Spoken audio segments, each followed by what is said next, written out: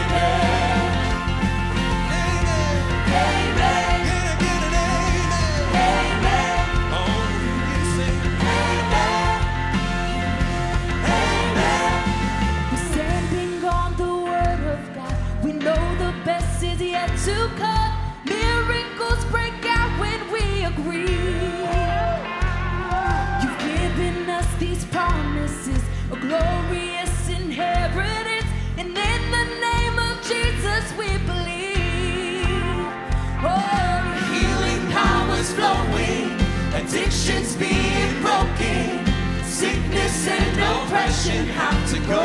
They have to go. This marriage is restoring, prodigals returning, the father's calling all his children home.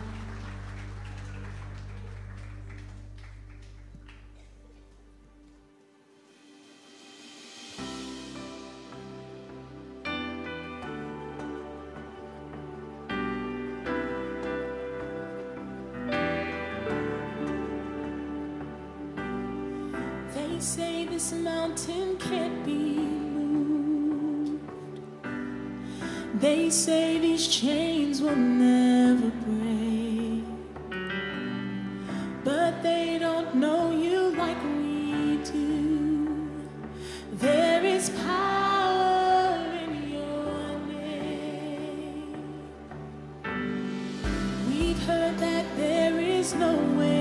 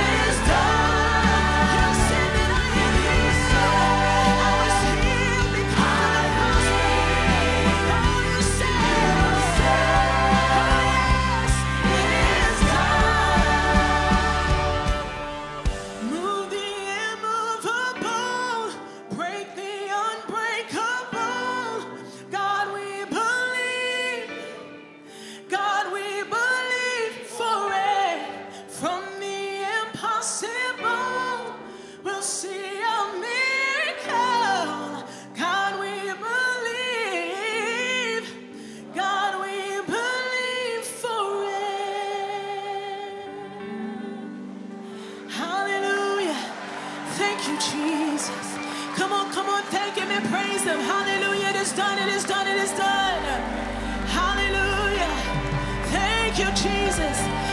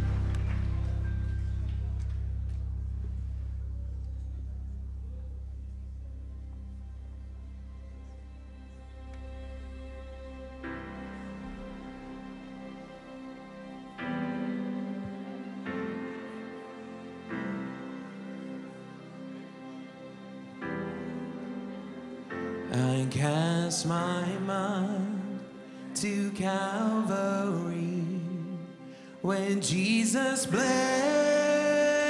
and died for me. I see his wounds, his hands, his feet, my Savior on that cursed tree. his body bound and drenched in tears, they laid him down in Joseph's tomb, the entrance sealed by heavy stone. Messiah still and all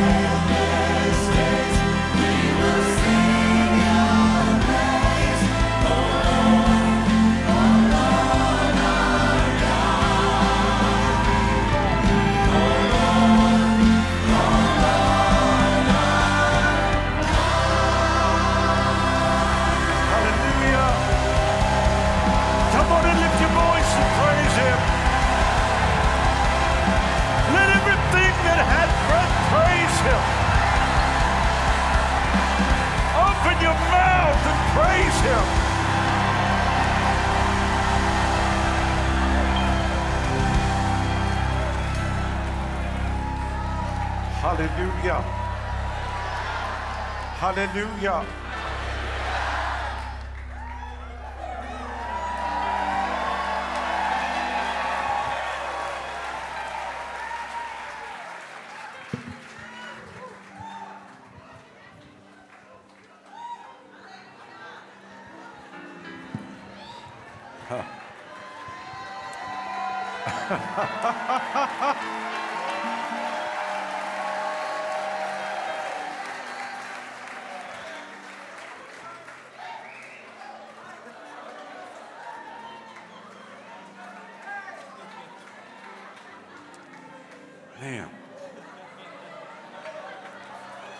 I could only be at one place this morning. This happens, must be the River Tampa Bay Church. I,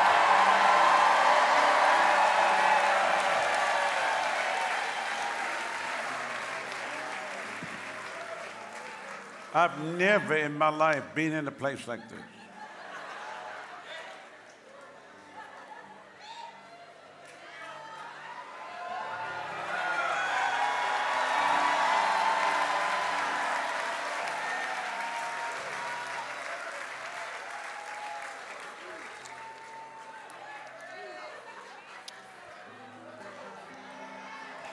Father, on this 1360th day of the stand,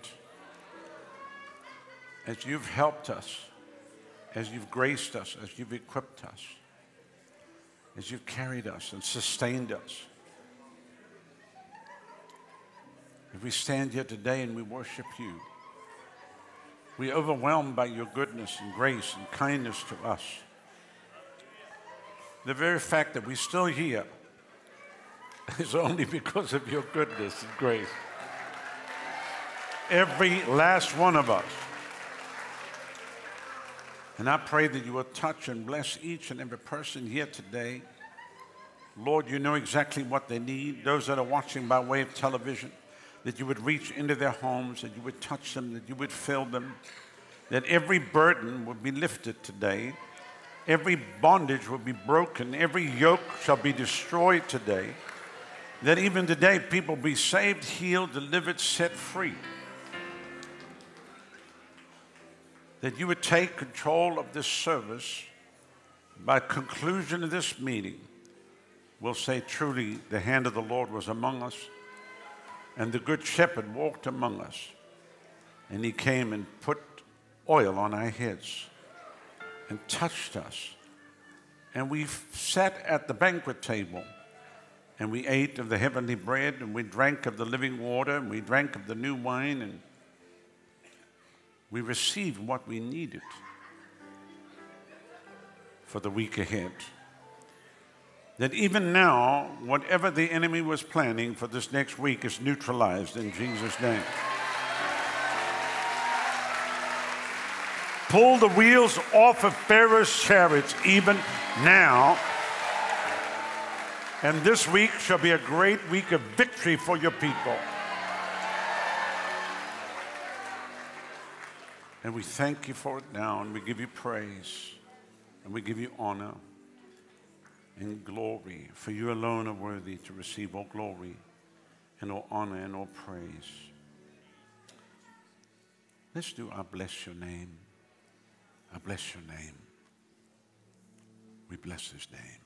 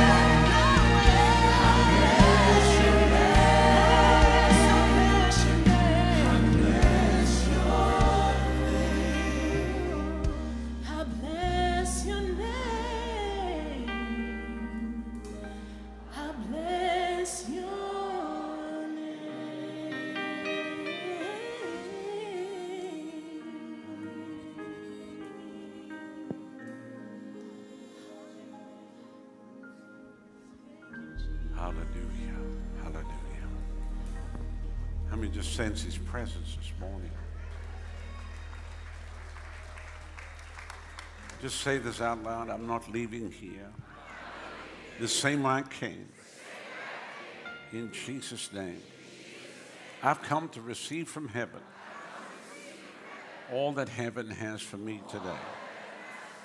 And when I leave this place, I will have everything I need for this next week.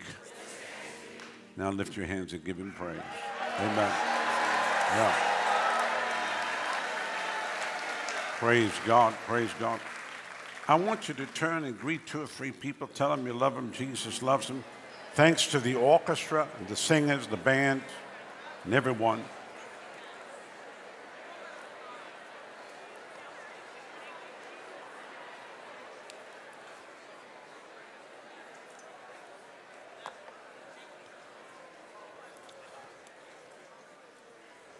If you're visiting with us, I'm the pastor here, and just want to warn you uh, this service might not be for you.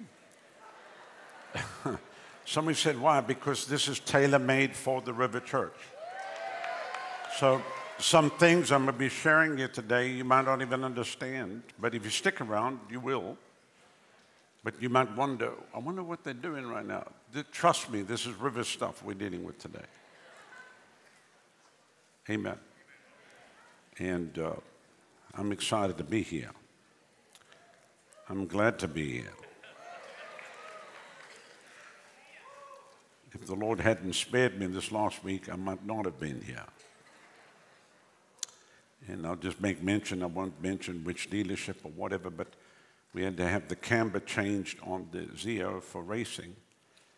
And uh, I raced Friday, bust the record, went to 123.7. Wait.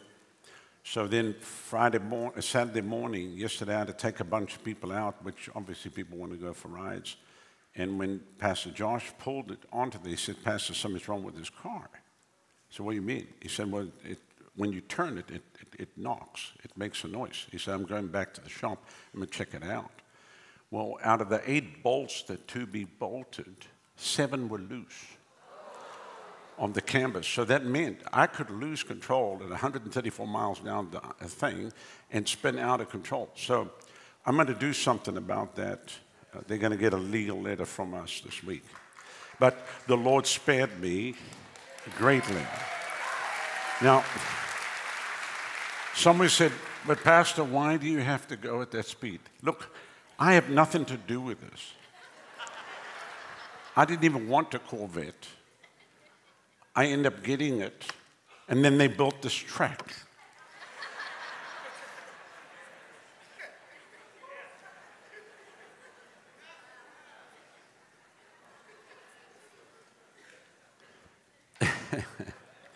but I do pray. I do pray, and thank God for the anointing on Pastor Josh. I mean, he heard it. He knew something was wrong. And uh, Anyway, all of my passengers were happy. I delivered them safe and sound. Amen. There's nothing like a thrill of high speed and stuff you're not allowed to do on the I 75. Amen. anyway, I'm so happy to be here today. And we're going to give away a car today.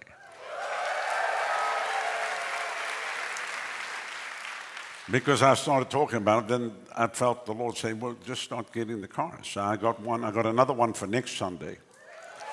And then I just felt I'm going to give one away a week. And uh, starts today.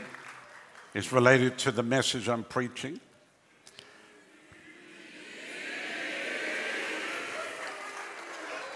Somebody said, What is that? It's a river thing. It's a river thing. And possibly I'm going to extend it into April. So even the four Sundays I'm gone, we'll have a car giveaway each Sunday. So you pray with me because I have to bleed this stuff in amongst all the other stuff. But I'm really excited about this one. Should we do it now? Pastor Eric's going to come. Tell him what it is, Pastor Eric. We found this. This is such a great vehicle. This this is an immaculate one owner vehicle. It's a Volkswagen Passat with 25,000 miles on it. It's uh, and that's a great engine, great motor. It's a 2020. It's it's amazing. We have two sets of keys. You have a backup spare right here, so pastor's got two sets of keys, and we have somebody in here. who, whose car is this? Now, I think we've given away, what, 45? 45 Yeah. cars? So this takes us to 46. So should we do a, a drum roll? Somebody give me a drum roll. Let me just turn it around.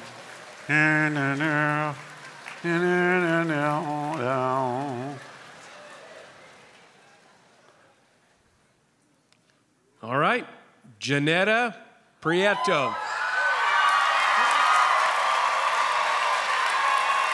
Come on down. Come on. She's stuck to her seat.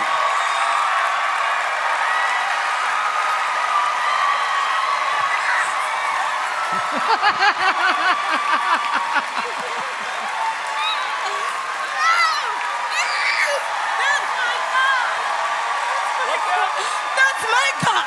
Ah, That's my God. I don't think the mic's on. They can't hear. Let's test. Yeah. What? What? You you you you prophesied some. What is it? That's my God. Ooh, that's my God. Here it is. So here's the keys. Take her out. Pastor Eric, walk her out. Help her. Okay, ushers. No drinking and driving. No drinking and driving in the. But this is drunk in the Holy Ghost. Pick her up, guys. You gotta. You gotta come get your car now. You gotta. You gotta let the. You have the unction to function. So walk with me. Yay!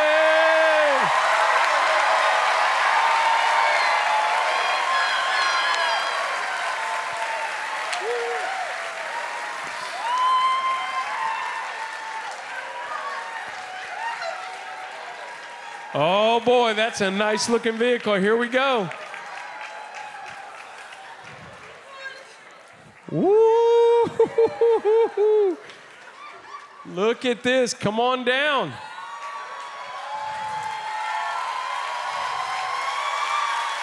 Beauty.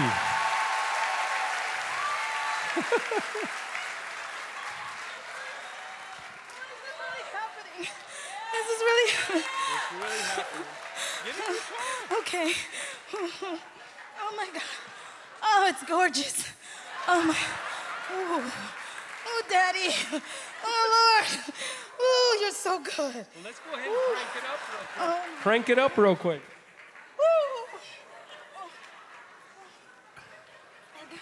Keep it in neutral. Am I doing it right? As she's cranking it up, let's look at this beautiful vehicle. Wow. She's got to figure out how to do it. Okay. Well, we'll teach you how to do everything. Let me hop in here. Push the button. But anyways, we'll just walk around it real quick. Just come on out, walk around it. What? What do you think? I mean, you're overwhelmed, but look at us. Just walk around for a second. Were you believing for a car? Yeah. Uh, two weeks ago, actually a week, I um, when we were in service, listening to the stewardship message, and I'm like, I'm giving my car away. I'm selling my car. And Lord, you're gonna give me a new one because He told me that He was gonna give me a car. And I put my name in, and I was going in there, and the guy, somebody else was talking. I joined in the conversation, and I said, I said, Oh, how do you have the car? Because I have the keys. And he said, Really? I said, I said, Yeah, I do. I didn't have the keys yet, but I was just speaking it. But when I was going, I looked at a car and I saw myself in it today. Well, well, you're in it today. It's actually happening. my God, it's so awesome. Somebody give God praise. That's awesome. Well, hop back in it.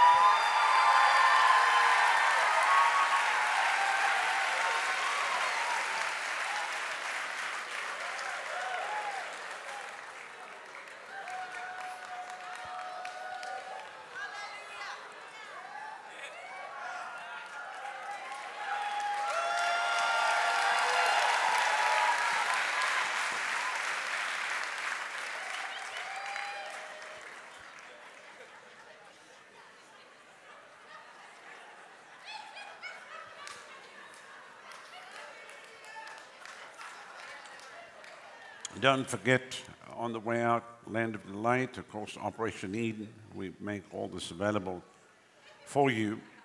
And then KBF Tuesday, Tony's going to continue part four on marketing, which has been, I believe, last week was a home run. People loved everything, so this week's going to be great. Tonight, by the way, uh, Pastor Allen hasn't been speaking at the stand for the longest uncles of all the youth, so he's going to speak tonight, Um, and it's going to be great. Un- unfortunately, I have to go to Mississippi. We start tonight in Hattiesburg, almost just under a thousand registered there already. Then we go to Jackson, Mississippi, Monday night, Yazoo City, Tuesday, Tupelo, Wednesday, South Haven, Thursday, and Memphis on Friday. And then we'll be back. Also, Healing School starts tomorrow, the next session. So please, you can still register through tonight for tomorrow's session. Very important that you do that. Very important. And then, of course, we have the wonderful ladies' conference coming up. Already 3,747 pre registered ladies. It's going to be awesome. Let's roll the clip for the ladies' conference. You know, it's just not a one touch, one experience, but it's pressing in. You're gonna leave changed, you're gonna leave different. It's not gonna evaporate, it's not going to leave you. Some of you, He's going to start something in you. Some of you, He's going to continue what He's done. Some of you, He's going to take you to another level. Just let God do what He wants to do.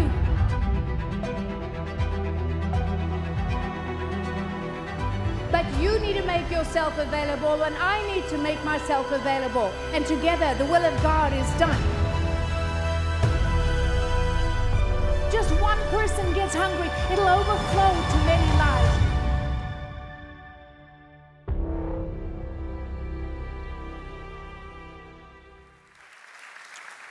And of course, we are one month away today of leaving for Africa for seven countries and uh, believing God for great.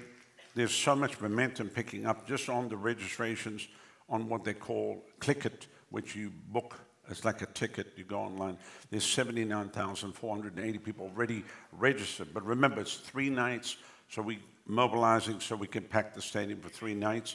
And um, there's so much excitement on the ground. Just all the reports coming in from the pastors and just everything. They believe this is the time.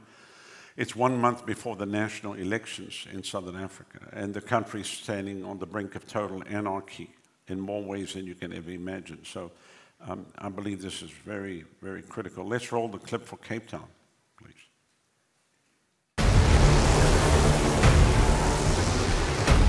Fire shall spread out across Southern Africa.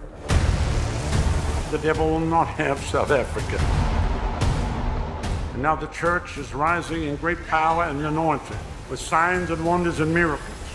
South Africa belongs to Jesus. Cape Town's going to be saved. Cape Town's going to be shaken by the hand of God. I see an army of men and women full of the fire of God marching through the land. God is not done with this country. He's not finished with South Africa. And he's not finished with the South African people. God's not finished yet.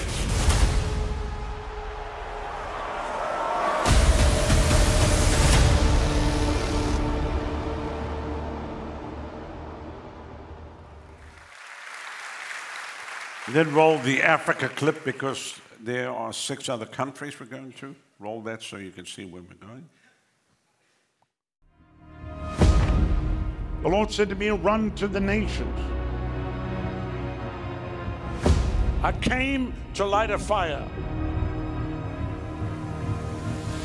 The Son of Man has come to seek and save that which is lost. Souls must be your number one goal for your life. From now to Jesus comes. Because when the fire touches you, You're going to win souls and you're going to bring in the harvest of souls. You have to get the word of the Lord for yourself. It's got to plant on the inside of you. So we're going to see the harvest coming. Stand and fight by the power of the Holy Ghost. And tell the devil, you're not going to have my country. You're not going to have my nation.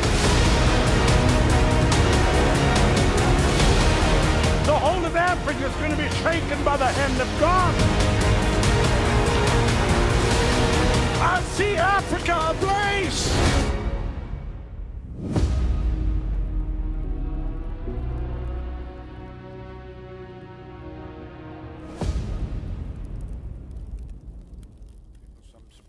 Planned for April, and um, some things are going to happen here. But uh, you'll be hearing from us every week.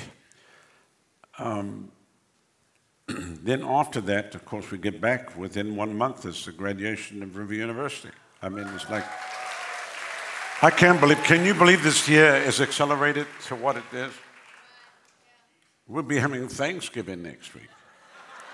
It's like, it's like somebody, anybody want a turkey? Like, Lord have mercy. Anyway, then the ministers and leaders conference, let's roll that.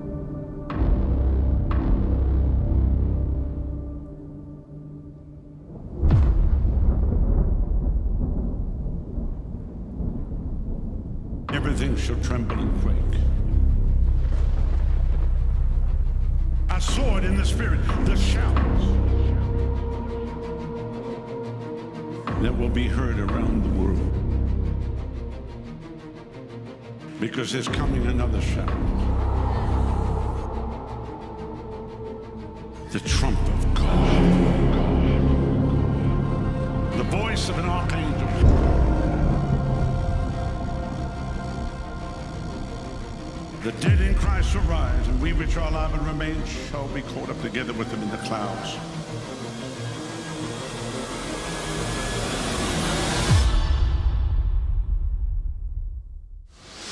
I believe what we are about to see in the next three years will eclipse everything that we've ever seen. Everything in the kingdom of God is about to be escalated. And the power of God is going to flow forth from the church. It shall be shouted from the mountaintops until the whole of America knows that Jesus is alive, that he is real, that he's coming soon.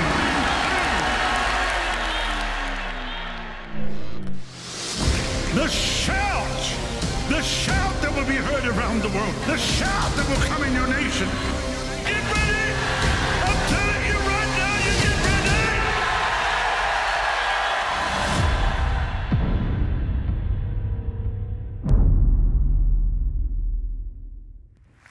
Then two other things I need to make mention, which I didn't. March the 31st, Sunday, big Easter outreach, huge.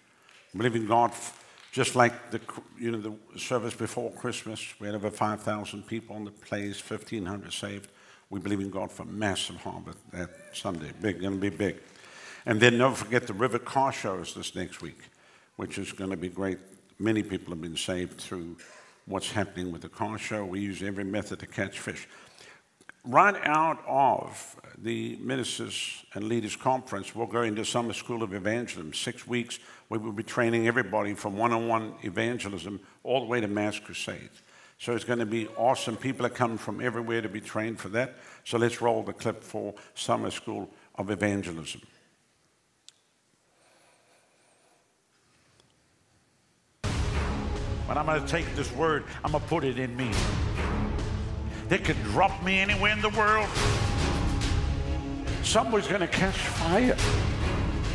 We can't keep this fire to ourselves. We're going to give this fire out to everybody. We'll put the fire on you, and let me tell you what's going to come out of you is going to be something that's beautiful that God is going to use in a powerful way to touch the lives of many people.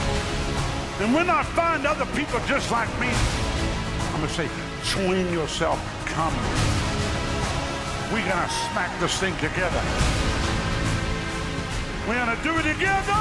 You don't understand what's been burst on the inside. You don't understand what took place. I'm going to shout it. I'm going to shout it.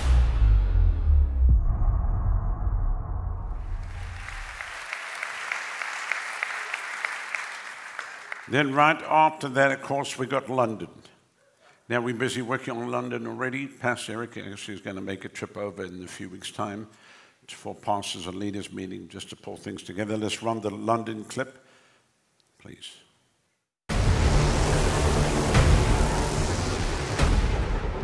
God's not through with the United Kingdom. He's not through with you. God will shake London, England. But somebody with the fire will go in there, and then there will be a shaking that will take place. We'll stand there right in the heart of London, and we're going to issue a decree. I see an army of men and women full of the fire of God marching through the land. You're going to break through in England. You're going to break through in the United Kingdom. London's burning, burning with the supernatural fire of the Holy Ghost.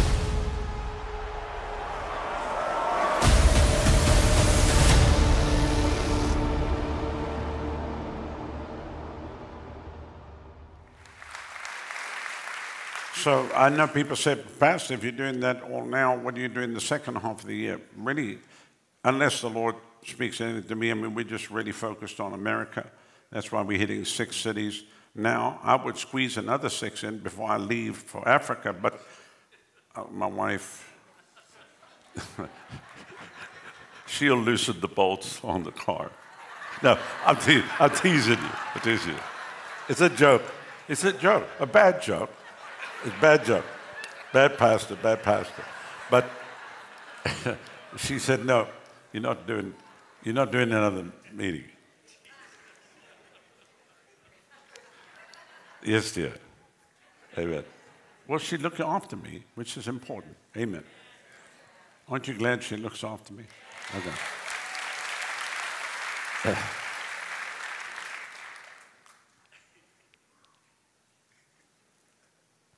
All right, and then, of course, which you can't see right now, but it is happening. And more's happening behind the scenes. There's what's happening in front of the scenes, but it shall be done. The new atrium that we are putting in place, with the new elevators that are coming, and just everything that's going to be done around these parts. And the Lord already gave me, listen to this, which I spoke a little bit to Pastor Allen about it, but God gave me a solution for the youth facility, children facility, before we even build the whole big one. Already got it. We already know what to do. So that's going to happen as well at the time, same time we do this next phase, which is going to be off the chain. So roll the next phase if you can do that for me, please.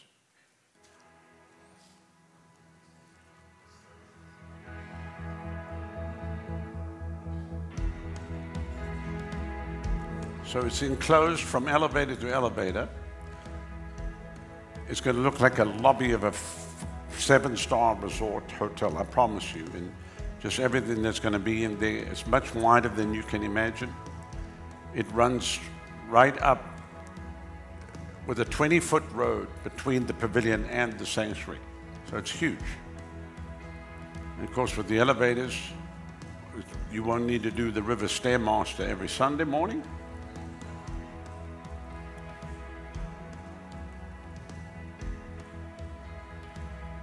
So this will be the next phase that's taking place. No deadlines publicly, but a lot of deadlines privately. and uh, if it's not done, certain bolts will be removed. it's a joke. Anyway, that's going to be great, especially when it rains here. How many know when it rains here, it rains? We have monsoon they never told us about. Anyway, praise God. Well, I think we got some testimonies. Pastor Ryan. Oh, hallelujah. Good morning, River Church. What a great week we've had this final week in February. Total, we had uh, 4,177 souls coming out of here in Tampa over the phones, the different ways. How many soul winners do we have in the house today? Amen. It's going to be another great week of souls. If you would come up here, Miss Rachel, she has a great uh, testimony about soul winning this last week, so tell us what the Lord did. Um, so I was out soul winning and we were door knocking and um, knocked on the door the, the first time and nobody answered. And so I, I knocked again, even louder, even harder. And um, this lady answered the door. And she comes to the door and she's like, I'm just a deaf, blind old lady.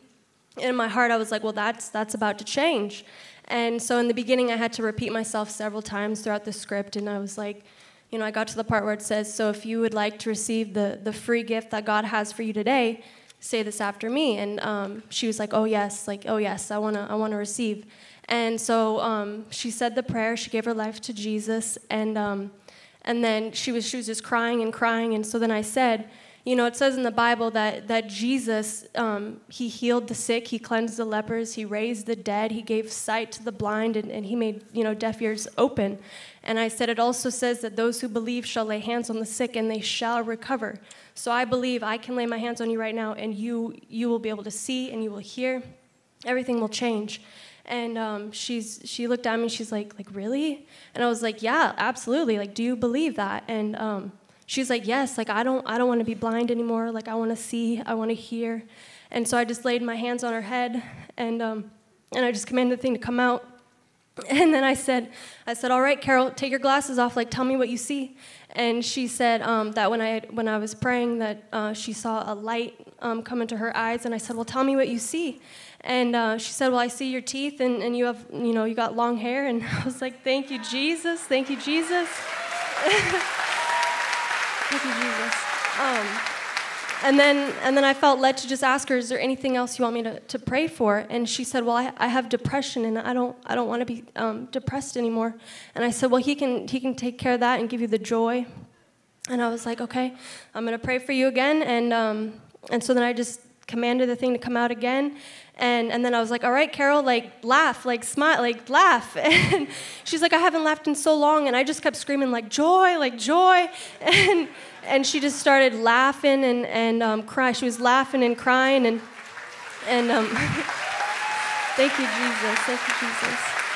Um, and then she told me, she's like, she's like, like God sent me, sent you here because I was feeling really hopeless, and I just was having an extremely bad day. And she's like, now I have hope, and um, so praise God. Um, the I just want to encourage everybody. The the harvest is ripe, and and you are the laborer. You know, people are crying out for help and hope, and and you have the solution. You you are the hope because Christ Christ is in you.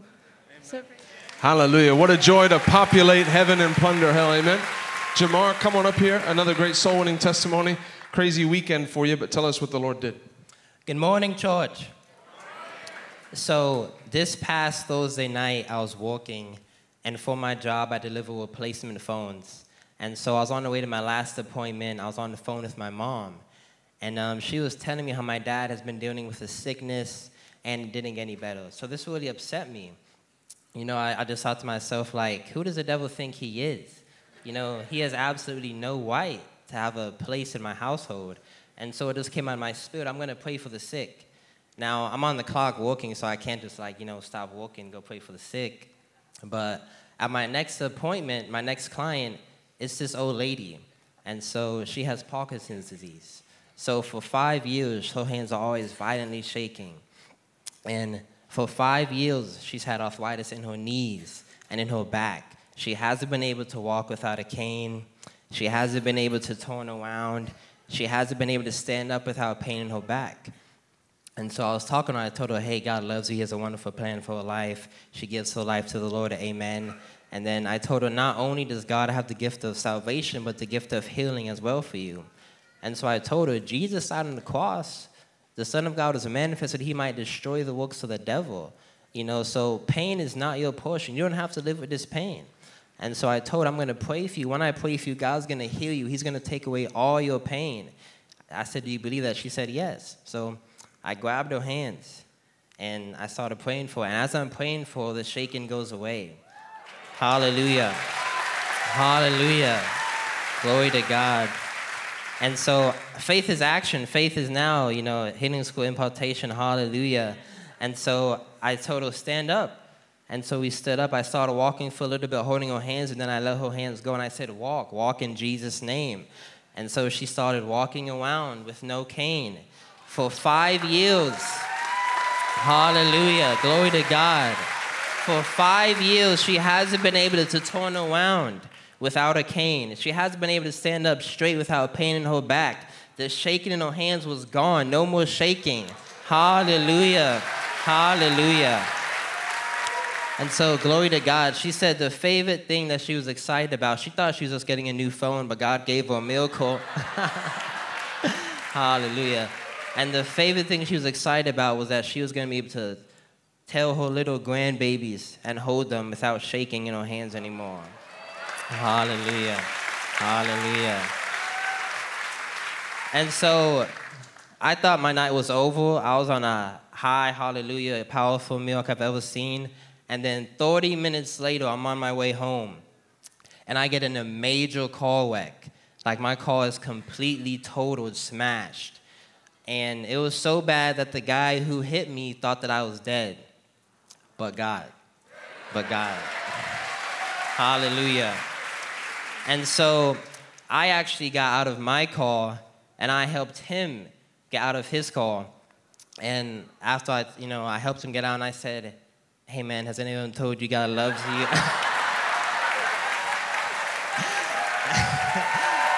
Hallelujah. Hallelujah. Hallelujah. Hallelujah.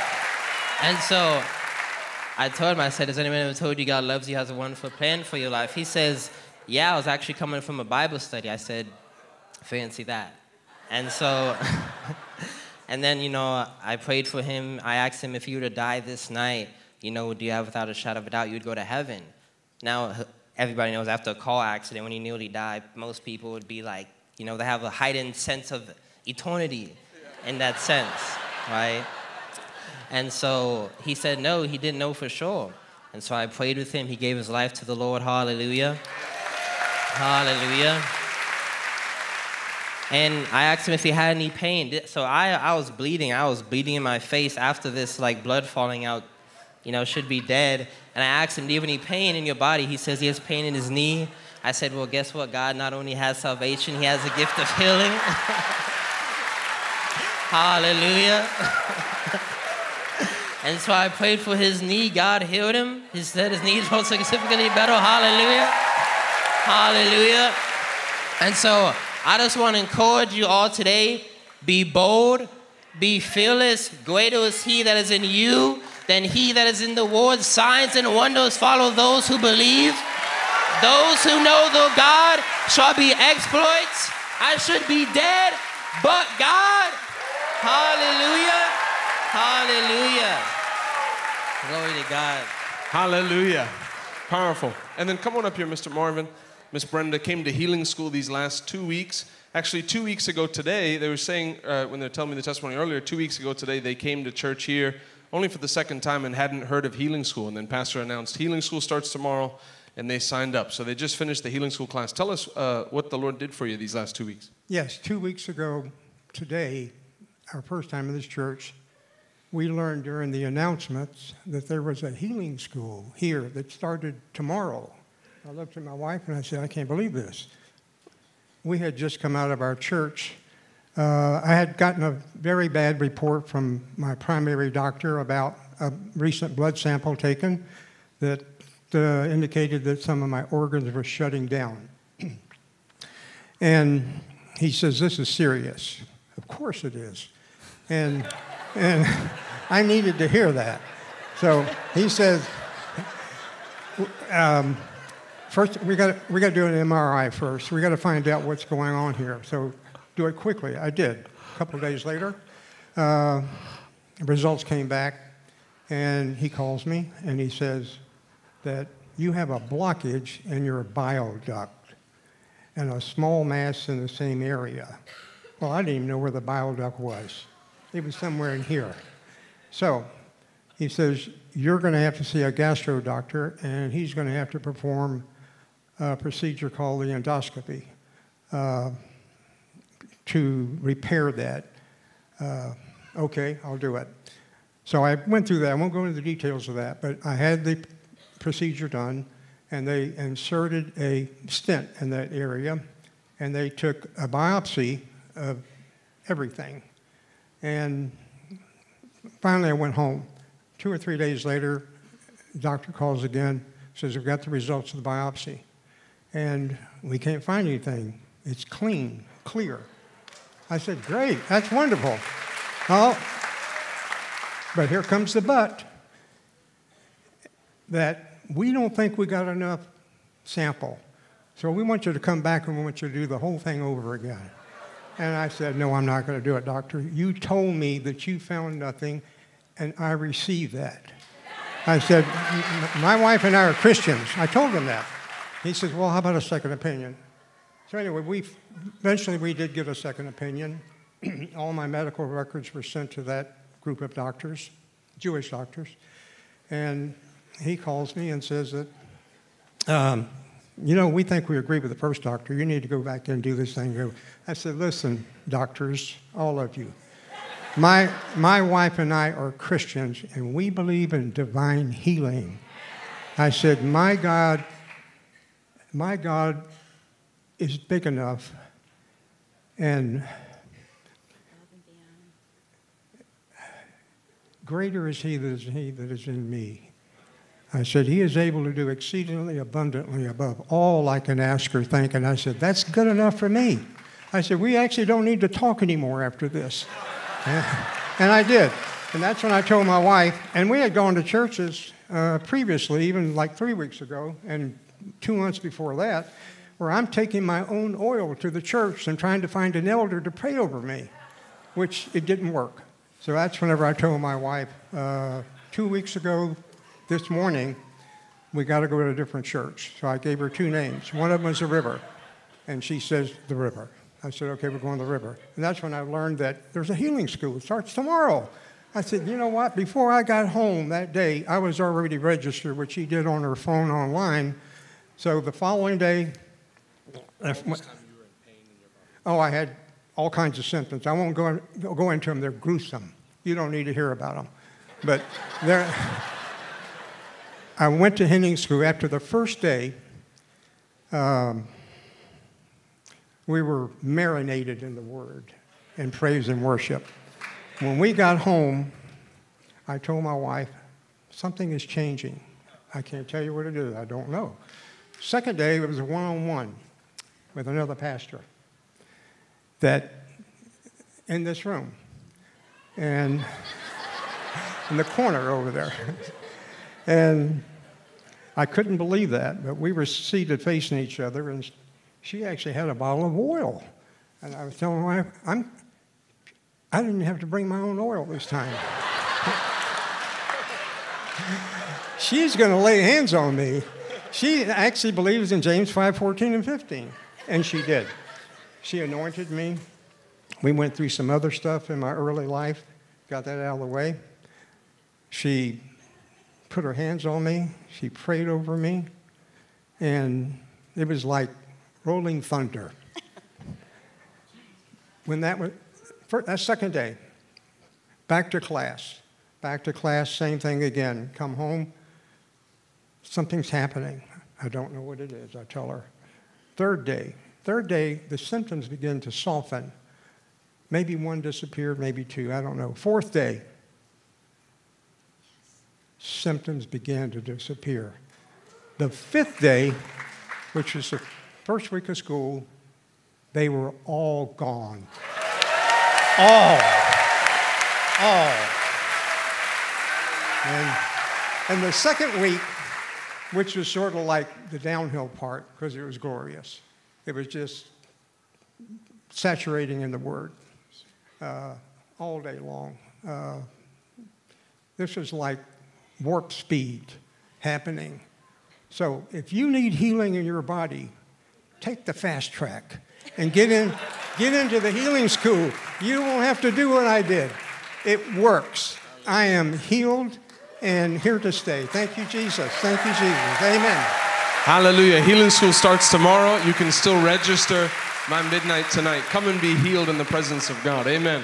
And then, Mr. Engardo, how many know we've entered the time of heaps, as Pastor said? Tell us, and this is the year of the fulfillment of the personal promises of God to you. Amen. Tell us what the Lord's done for you, accelerating your business this year. Amén, gloria a Dios. Montones. Well, this is what it is. Um, thank you, Pastor, um, Pastor Ronnie, Pastor Adonica. Thank you for everything. Um, my wife and I, we are starting the business, um, handyman services. We're doing a little bit of everything. But also, um, in the first two months of this year, it's been crazy. This is a crazy place. This is a crazy church. I already made, for the glory of God, what uh, took me seven months last year to make this year. I mean, crazy, crazy, crazy, crazy. I had to stop advertising because I cannot handle the work.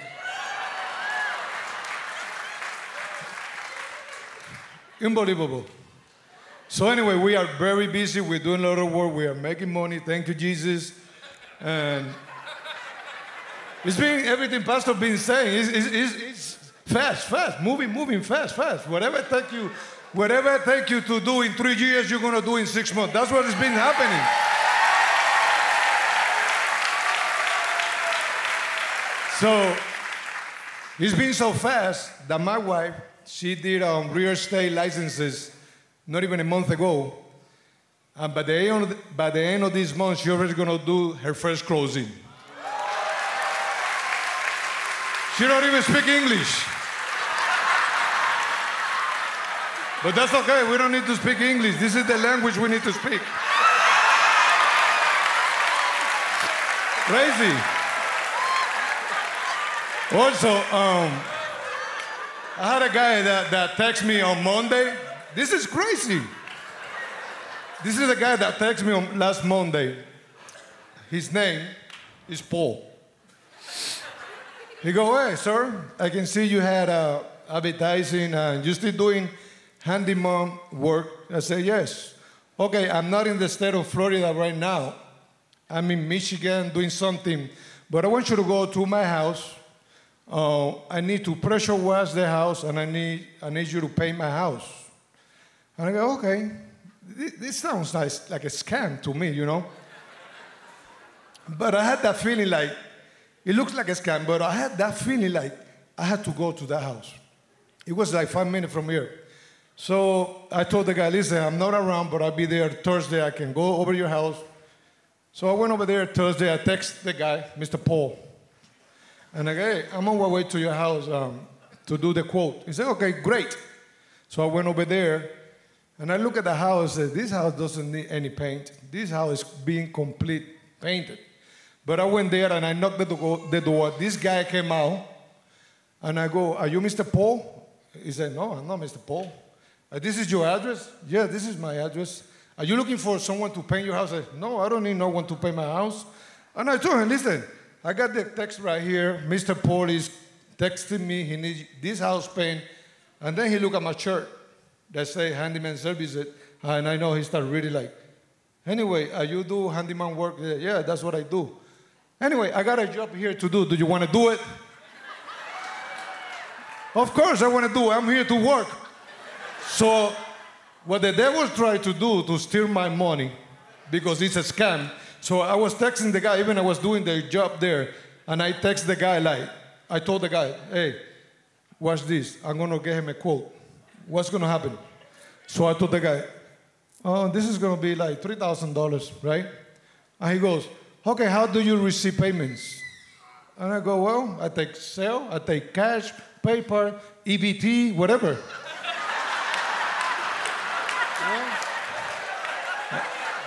We take whatever. We change it, you know? And then um, he go, can you send me your bank account number so I can transfer the money? I said, man, this is a scam. So it was a scam. I ended up doing a job. And the last thing that I wrote, I, I changed his name and I put here Mr. Scam. And this is what I wrote to him. Hey, sir, I don't know who you are. I don't really care. I can say this to you. You are full of the devil. You are trying to steal people money. And this is what happened. I went there, I did a job, I made money. And the devil is using you very powerful. And I pray that the Lord Jesus Christ give you wherever you deserve. Went into a scam and got hired on the spot. I'm telling you, the Lord will turn around a scam in your favor in Jesus' name. There are many prayer requests coming in from Manhattan, New York, Bloomfield, Connecticut, Newport Beach, California, Silver Springs, Maryland, all the way from Canada, Boston, Massachusetts. There's a number on the screen. You can call it, and we'll be praying over them before we go off the air. Well, I felt the Lord begin to speak to me last couple of weeks about something. And I was reflecting back on the years 2020, 2021, 2022, 2023, and 2024. And the Lord said to me, What was significant that happened in 2021? I said, Well, Lord, it was the Sunday that I stood on the field. And I, because we were going through the Bible to get everything ready for, to put the first Bible out. I'd gone through all the passages of scripture on sowing and reaping, and there was a passage of scripture that I had read, but I never used publicly. And that would give way to the whole teaching on heaps, which when I pulled all the videos, we actually have 56 messages over the last almost three years that's related to blessing, heaps, double heaps, and all that kind of stuff. So I started going through it. And I actually was shocked because I realized in the month of March, I didn't really focus much on it. We just did the offering or we talked about it and everybody grabbed it. And then I was impressed by the, the, the, the, whole feeling was when you remember when the lockdown came and I had that word from the Lord, the jar meal will not fail, the oil will not run dry. And then I kept telling everybody it's still in effect. And the Lord said to me, well, heaps is still in effect. So I said, okay, yeah, but if I, if I just get up and talk about it, people are going to. He said, no, there's many new people. There's new people watching, and people need to grab it at a foundational level to understand what I'm actually doing here. So I felt to con- concentrate the whole month of March just on heaps. Because, because of what the Lord wants to do in and through every one of your lives. A lady today just got blessed with a heap of car. So, and, and there'll be many other cars now that over the next eight weeks. And, but there's things that God wants to do in the life of each and every person here. This is, now maybe it doesn't mean anything to somebody who comes from another church because you don't even understand the language. Tune out, go somewhere else. I am the pastor here, and I have to do what the Lord's told me to do along these lines, and you'll understand it. So I'm going to take us back for about six minutes.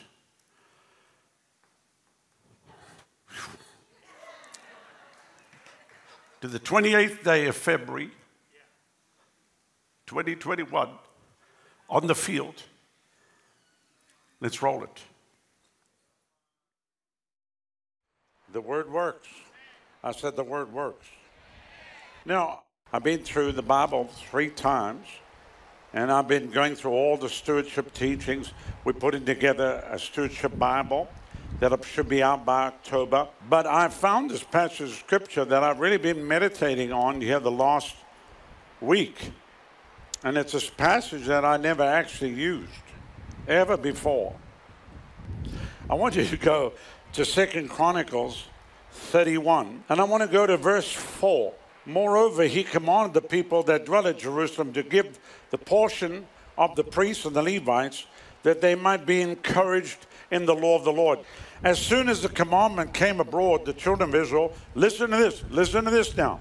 They brought in abundance the first fruits. Everybody say first fruits of corn, wine, oil, and honey, and all the increase of the field, and the tithe of all things they brought in abundantly. So it says here, the tithe of holy things that were consecrated to the Lord and laid them by heaps. Now, everybody say heaps. In the third month, they began to lay the foundation of the heaps. So there was so much that lay a foundation, and they finished it in the seventh month. By the seventh month, they finished with the heaps. Now, watch this now. When Hezekiah and the princes came and they saw the heap, they, they blessed the Lord and the people of Israel. And Hezekiah questioned the priests and the Levites, What's going on, you guys?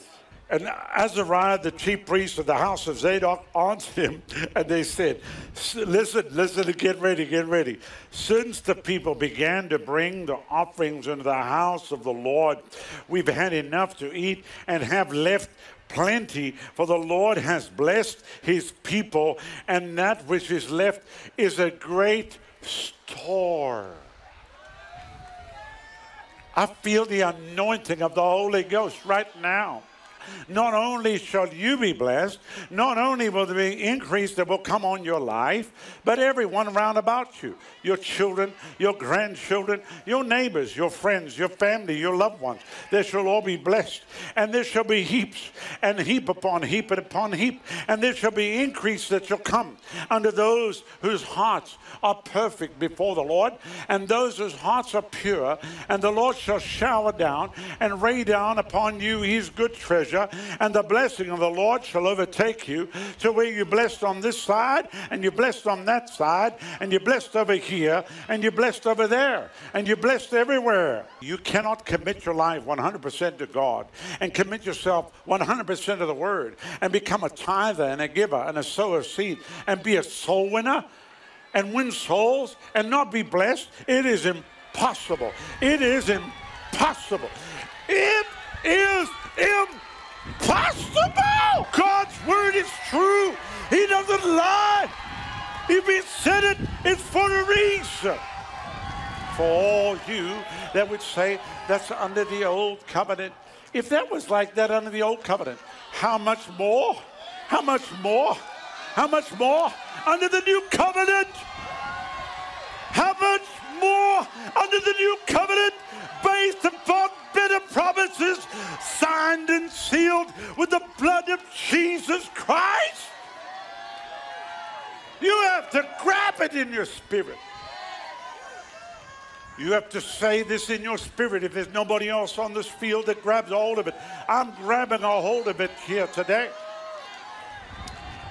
As the psalmist said, what would have become of me had I not believed that I would see the goodness of God in the land of the living? Hallelujah. Just stand quickly, lift your hands, let's pray. We believe in God for the new balconies in the auditorium, and we believe in God to put a covering over this place and renovate everything here. We're going to pay cash for it. I'm going to get a train that will run to the children's church. Many things are going to happen, but it's going to be epic, and all of this, well, the balconies will be done this year, and many other things are going to happen, and we're going to pay cash for it. When uh, Dr. Ron Phillips was here back about 2006 and 7, he stood on the platform and said, Listen, he said, the day will come when people will come from all over just to see the cars. No, no, no, this is big. The flood is here. It's not coming. The flood is here. I said, the flood is here. I said, the flood is here. It's all for a purpose. Yeah. God empowering each and every person for a purpose to bring in the end time harvest. You know, this car show is going to bring many people to Jesus that will never come to church. Oh, yeah? Awesome. Listen, listen, listen. Okay, I'm just going to speak it out. There are going to be people pulling up here with Rolls Royces. People are going to pull up here. I'll just say, people pull up here in a Bugatti Veyron. You know, God's going to make signs and wonders out of you people. Yeah. Agree. Because you put souls number one.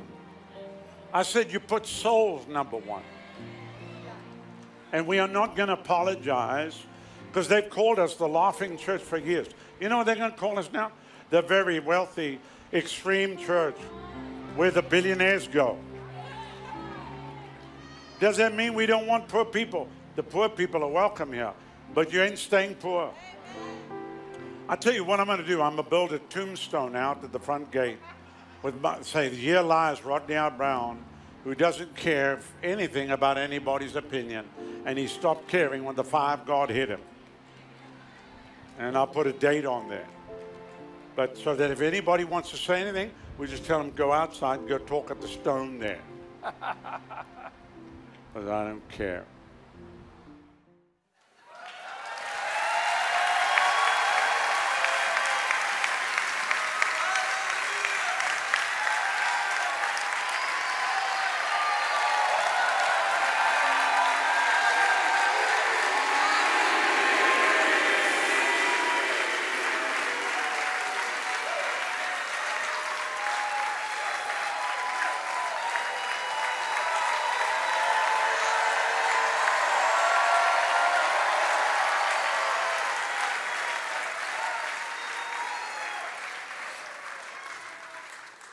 So you receive the results from what you put pressure on concerning the word.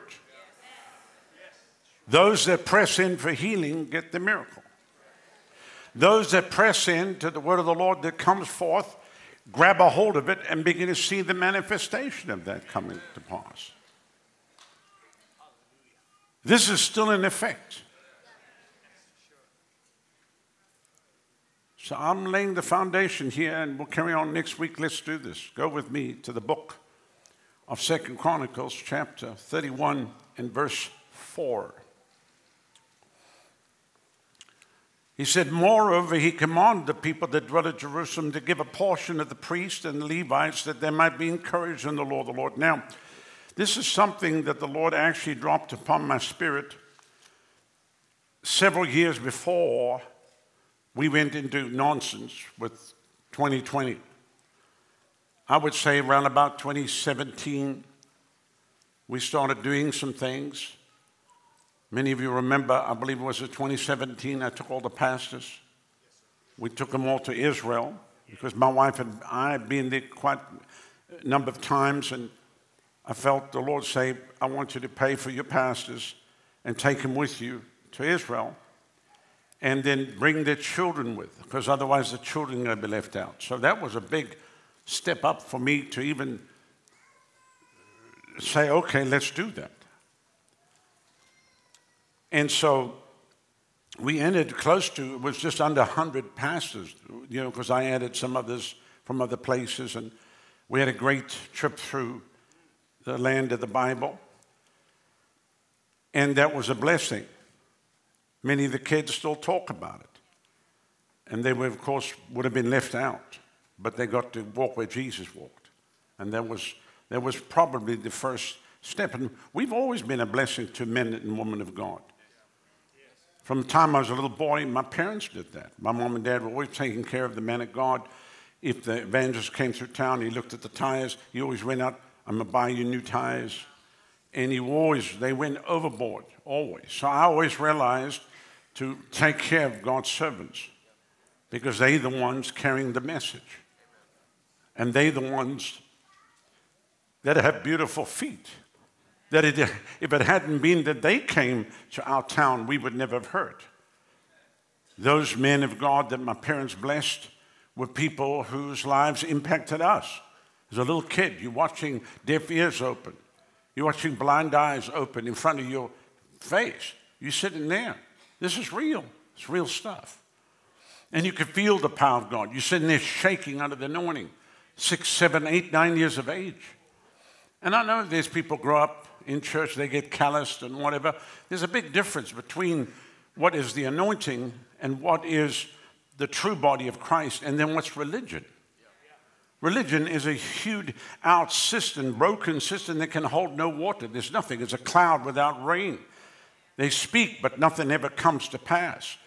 But what it comes from the mouth of God always brings forth results, and people saved and healed and set free and delivered, and the power of the enemy is broken. Can you say amen?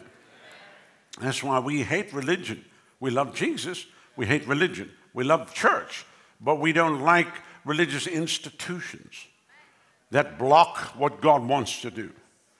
And that all starts with the leadership. But you can't blanket everybody and say they're all the same. They are not all the same. There is a difference. Are you with me? And while there are bad doctors, they're good doctors. While there's bad lawyers, there are some good lawyers. We've got one here on the front row. Okay. While there are bad businessmen, there are good business people. So not everything's bad, and you can become callous to where you just paint everybody with the same brush, and you're going to miss out on what God wants to do. Surely you have enough discernment, like an old cow, where you can eat the hay and leave the sticks. Are you with me? And then also to realize it's not your job and responsibility to run around and try to help everybody eat the hay and leave out the sticks, especially when that's not even your realm. I'm, I'm, I'm a cattle rancher. There ain't no cowboys coming by to walk on my land to come talk to my cows and come to tell me what to. I'll shoot you. Uh, Listen. You'll get a bullet in your buttocks. And I might brand you with one of the brands that we branded the cattle with. No, this is not your ranch. Hello. I think that's one of the problems we have in the ministry. People think because they're in the ministry, they have authority to go around and you shut your trap. Go watch the Western movies when they rode into town and shot off at the mouth. You didn't last long. It was a shootout. Are you with me? And they buried the, cowboy. He run his mouth. You got to know what your realm is. Amen. Amen. So anyway, you can't blanket everybody. I you, I'm just so tired of the church. Oh, you really are. Come, let's see. What, I'm going to come listen to you. After listening to you preach, I think I'll get a gun and shoot myself.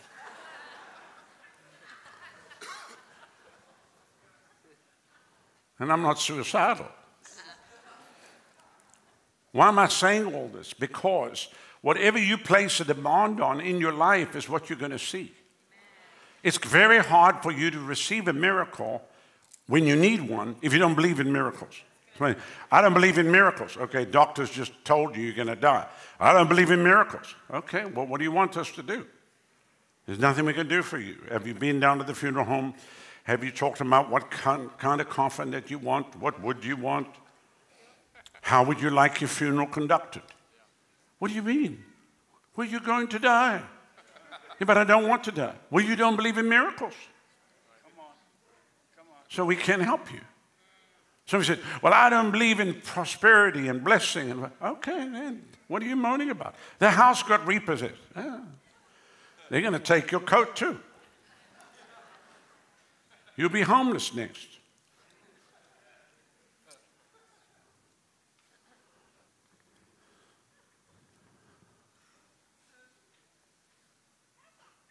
I mean, what are your choices? We either believe the Word of God or we don't. And if you believe the Word of God, then you lock out every other voice of every other naysayer and gainsayer that would try to talk you out of what God has and block your ears and say, This is what the Word of the Lord says, and this is what I'm receiving for myself, for my house, for my family. Deuteronomy 30 and verse 19, I record before heaven and earth this day, I set before you life and death, blessing and cursing. Choose life that both you and your seed may live. On this day, the third day of March 2024, you can say, I'm choosing life. I choose life. I don't care what your history is, how bad it's been, what your father did, what your grandfather did, what your great grandfather did. It is cut off at you from this day. You shall walk in another realm. You're going to walk in another blessing. You're going to see the hand of God come upon your life. It doesn't matter if you were raised in poverty. It doesn't matter where you come from, the wrong side of the tracks or another part of town. You either believe the word of God or you don't believe the word of God. You take God at his word and say, Yes, I believe. I believe. So this passage hit me because what they determined to do was to encourage the priest. Someone said, Why encourage the priest? Because everything was shut down. If you go and have a look, what took place? All the temples being shut down. There was no more offerings, there was no more sacrifice, there was no more worship. They were discouraged, all because of what the king had done. And I don't have time to get into it right now. We'll talk a little bit about it next week. But Ahaz has shut everything down, shut it all down. And that's what happened in 2020 when everything was shut down, where you couldn't come to church because you would catch the flu. Which, and this is not YouTube, this is the CDC, just came out with this announcement that they mistreat the flu, I mean, COVID, just like the flu. That just came out this last week from the CDC. I'm not making it up. This is not fake news. The CDC just released a statement to everybody that if you have COVID, just treat it like the flu.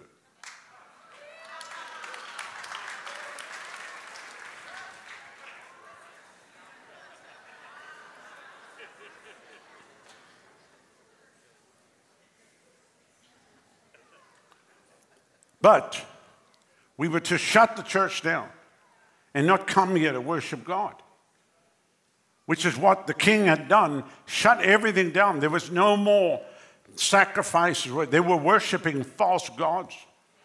Somebody said, well, they, people didn't worship false gods in 2020. They worshiped Fauci. they worshiped a needle.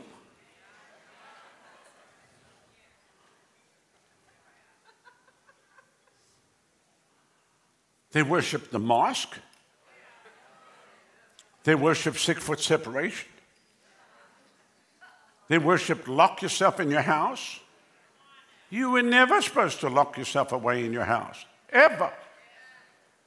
Hello. All these things that were perpetrated upon humanity, and then churches closed the door. What pastor in his right mind agrees with that? I tell you, we just need to close. You know how bad it is, especially in the relationship to what we're doing here at the river when we have people coming with incurable diseases for the healing school, which has been going for many, many years now. So a person comes with stage four cancer. Uh, you know, I'm so sorry. I know. Yeah, the doctors give me 12, 12 days to live. Uh, well, we can't have you come. There's the flu. I mean, there's the, the other stuff. Try to work that out, how that even fits within the DNA of what we do around here. Especially when I come from Africa and we go to villages where there's Ebola, yellow fever, tuberculosis, flesh eating disease, we grab, we grab a hold of pray for people with, with flesh eating diseases. We grab their hands. I'm not exaggerating. Somebody said, These are lepers. Come here. We pray for them. I prayed for a man one night. I put my finger in, it's terrible what I'm about to tell you, in his ear. He was deaf. And his ear exploded like a yellow pus came all over my finger. Somebody said, Well, what did you do? Well, it was out of his body, so I just wiped it on his jacket. I mean, what do you want me to do with it? Yeah. So I just wiped it on his jacket and kept praying.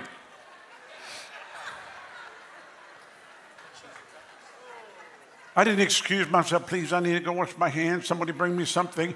Get some, some you know, to sanitize this thing. I don't want to be infected. You don't know. You walk in a place, start shaking hands with people. You don't know where them hands have been. You have no clue.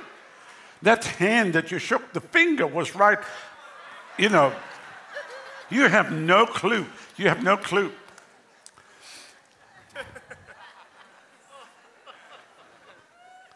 Somebody said, why was he doing that? Changing his mind manually.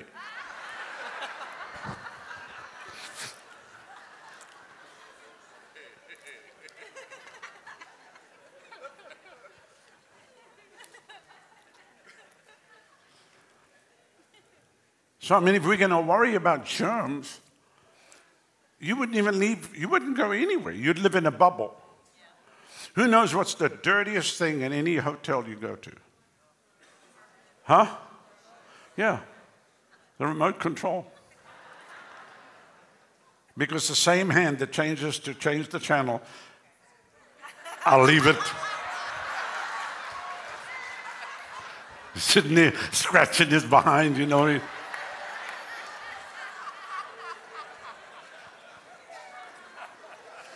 Look, I don't mean to get graphic about it, but if you're gonna if you're gonna get to a place where you allow fear, you won't do anything.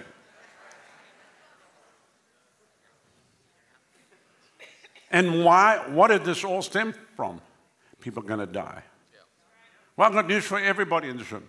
You will die. You're going to die. Don't shake your head at me. I'll see you up there. But you're not dying today.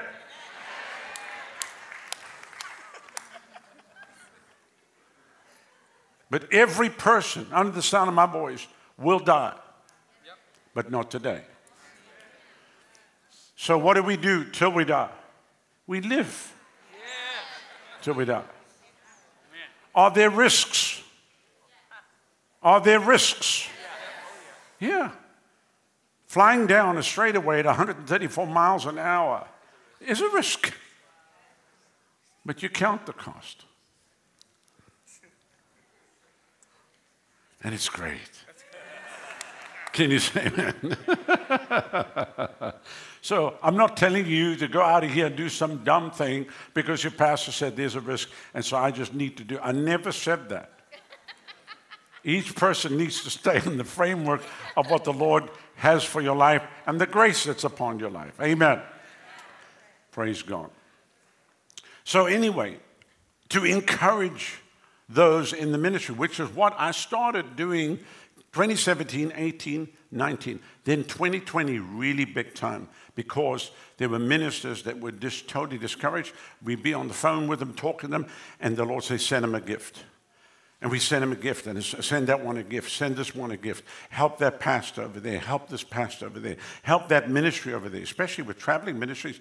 Their ministries shut down. Nobody wants them to come preach. So then I would send checks every month to all the traveling ministries. Because they, they how's it going? Uh, pastor, I mean, churches don't even want us to come.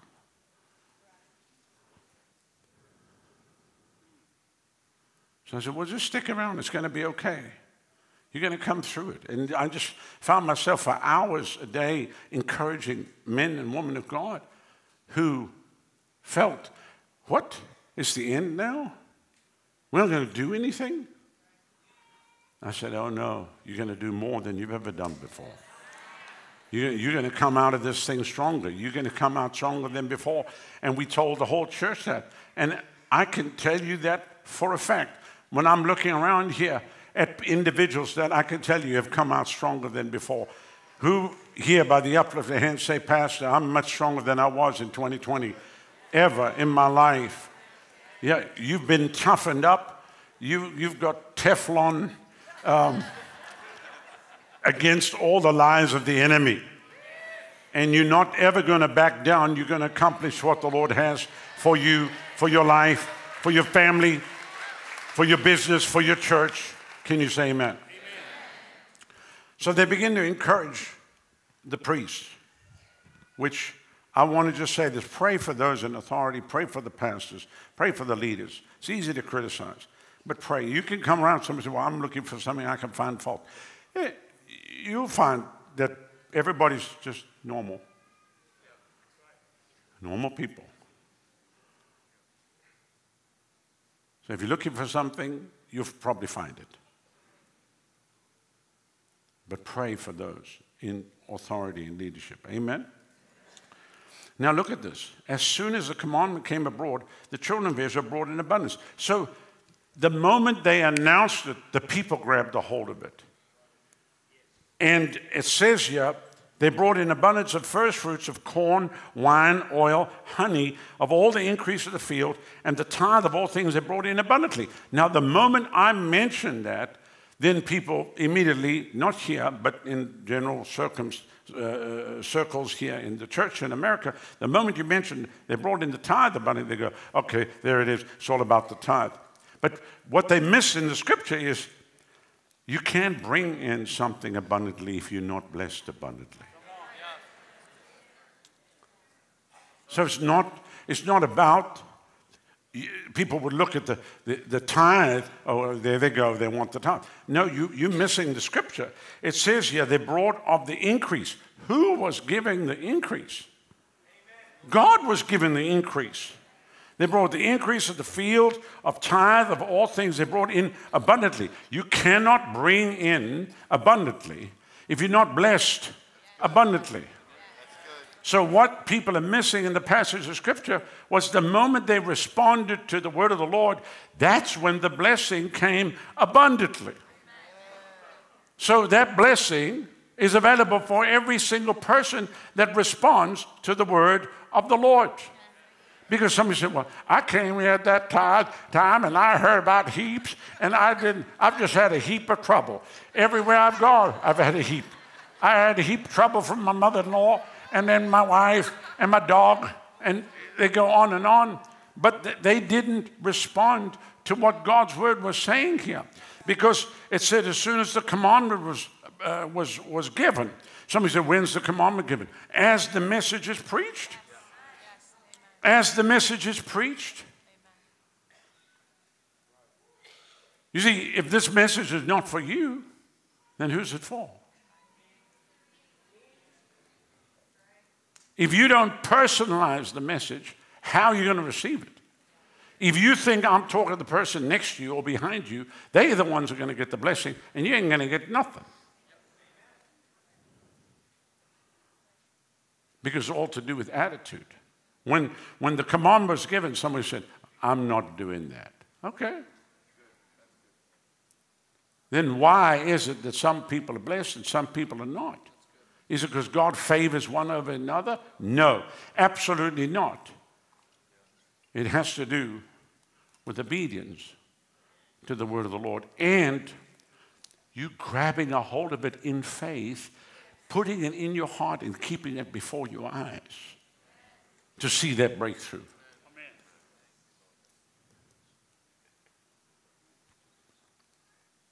Now look at this. This sparked the children of Israel to now start doing something.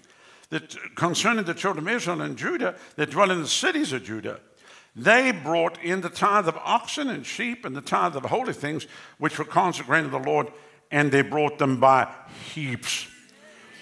Now, to understand what a heap is, is it's one thing piled on top of another. Are you with me?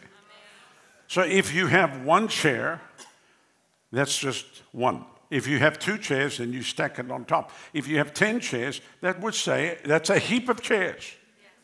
Are you with me? The more it multiplies, the more you can say, I don't know what to do. There's heaps everywhere. Yeah, the more cattle you get, the more heaps you get. I try to get something you relate to. Somebody said, I don't want all these heaps around you. All right, cut down your cattle, get two. two cows, less heaps. How many grab what I'm saying here? Huh? Where there's no ox, the stall is clean. Somebody said, You have a beautiful barn. Yeah, nothing there. Spick and span. A working barn, you can smell it before you get there. Are you with me? I was talking to my son in law, Caleb, who was raised as a cattle rancher. He told me, Dad, there's something special about dung. I looked at him. I said, Son, what do you mean? He said, When I get amongst the smell, it takes me all the way back to my childhood and through everything and the whole cattle operation, and just everything. He said that smell, even though some people don't like it, it just awakens me all kinds of things. I start thinking of biscuits and gravy. I start thinking of just all the stuff that my mother, my, my dad used to do, that it takes him right back.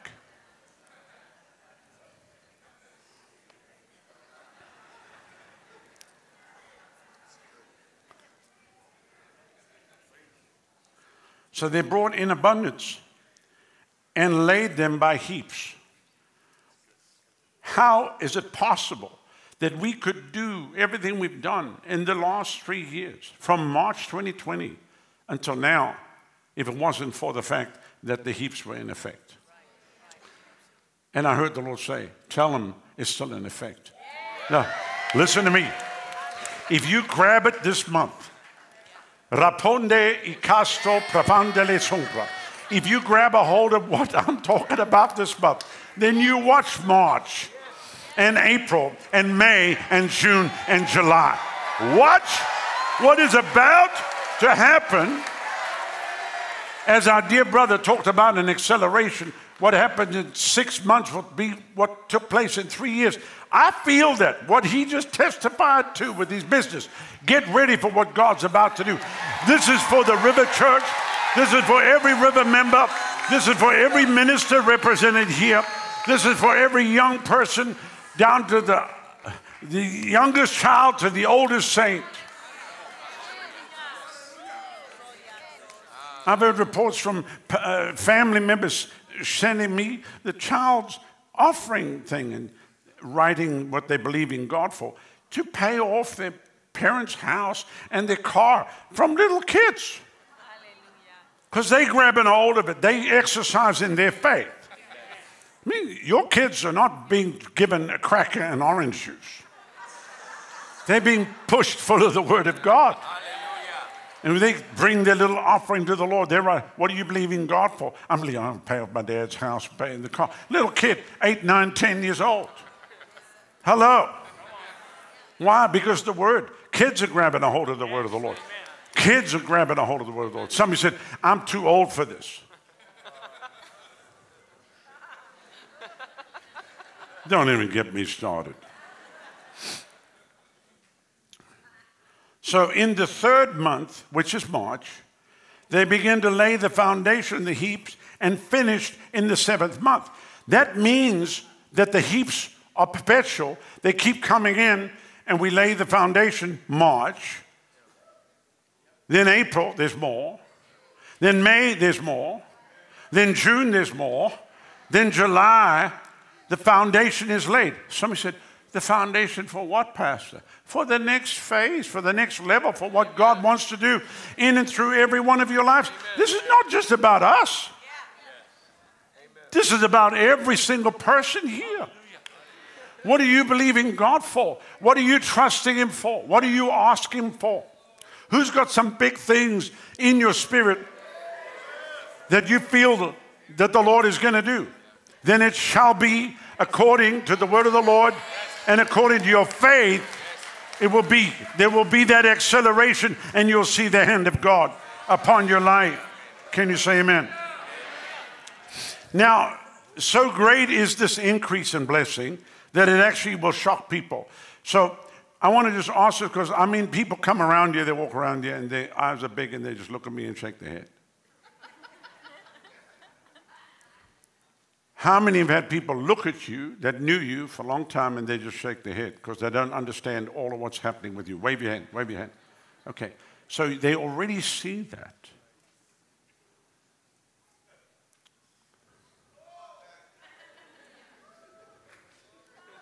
Now, you could stay at that level, or you could say it's time to go higher. You could say, you know, all oh, that's wonderful, but God can't keep doing this. I mean, God's going to run out of things. Yeah, He just can't keep carrying on. Oh, really? Who are you listening to? When I open the Word, I can't, go, I can't open to this passage and go, you know, well, we did that in 2021. if I can open up any part of the Scripture, and it's the same today, as it was then, then I can open up this. Amen. And I heard the Lord say, Tell him it's still in effect. If you'll grab a hold of it in the month of March, if you'll grab a hold of it. Mm. If you'll grab a hold of it, if you'll grab a hold of it, if you'll grab a hold of it, somebody said that would be selfish for me to grab. You need to. You need to. You need to say, Bless God if I'm the only one here at the river on this Sunday, the third day of March, that's going to grab a hold of it. I'm grabbing a hold of it. I'm grabbing a hold of it.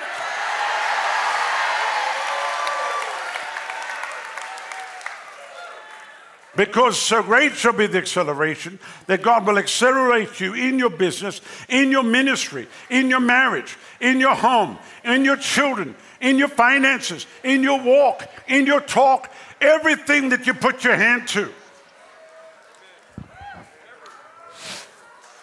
Everything you touch. While what the world touches comes to nothing, what you touch shall flourish. Man, I feel this so strong here. If you don't want to have heaps, don't come back in March. Hide away.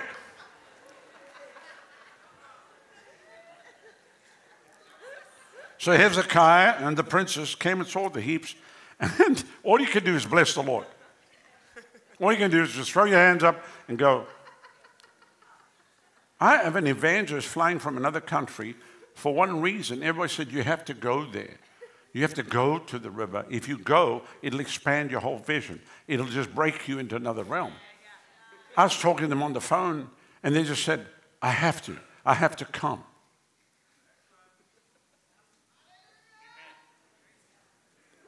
So you bless the Lord. But privately, Hezekiah, Hezekiah questioned the priests and the Levites concerning the heaps. In other words, what in, so this is how you question, what in the world is going on here?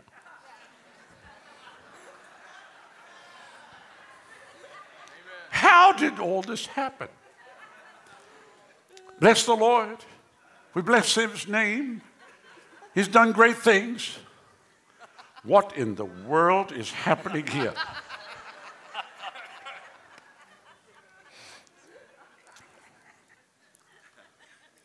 Now, look what Azariah did. Azariah, man, this is so awesome. I'm so happy. Ah. I had to do it. I'm sorry. I, and, and, ah, and again, and one more time. Ah.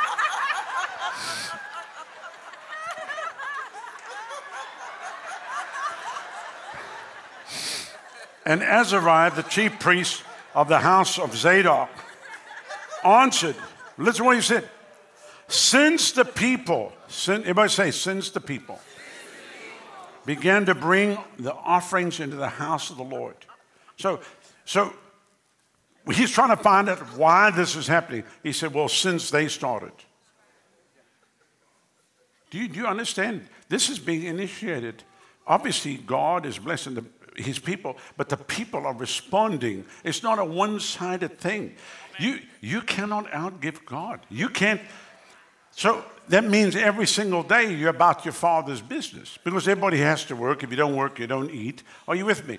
And God's raising up people that are going to fund the end time harvest. You know, God spoke to me, believe him, for 300 multimillionaires that he was raising up to fund the end time harvest. I believe we have a whole bunch of them here. Are you with me? And some that will be billionaires. And I'm not talking about people that are going to lose their minds and go to lost eternity. I'm talking about people that are going to stay true to God, but are going to be used of God to be end time financiers of this great end time harvest. That churches are going to be built paid for cash. That ministries are going to be launched paid for cash. That people are going to be coming and going. Whatever is needed is going to be there in an abundant supply. And you've heard me say this over the years the day will come when people will come in to get their financial needs met. Now, just so you know, I can't house all the homeless people, so that's, that's not going work. I can help people temporarily, but you have to get a job. Are you with me? But I'm not the U.S. government. We can't do that, but we can show you how to break through. If you listen, we'll help you. If you don't, we can help you because we're not going to help. We're not going to take resources that should be used for the kingdom and waste it on people that just are lazy and don't want to do anything or know better than what we are telling them. Then you must go down to the first church of the Frigidaire, or better, go to Mexico, cross the border through California, and they're giving home loans for immig- illegal immigrants. So you can get a home loan for a nice house in California. Just do that. At least you'll be blessed through the U.S. government. But don't come here and waste our time. All right. So, sin, everybody say, since the people begin to bring the offerings to the house of the Lord, we have enough to eat and left plenty. For the Lord has, for the Lord, for the Lord has blessed His people. For the Lord, for the Lord has blessed His people. For the Lord has blessed His people. For the Lord has blessed His people. And that which is left is this great store. Yes, sir. That's good, sir.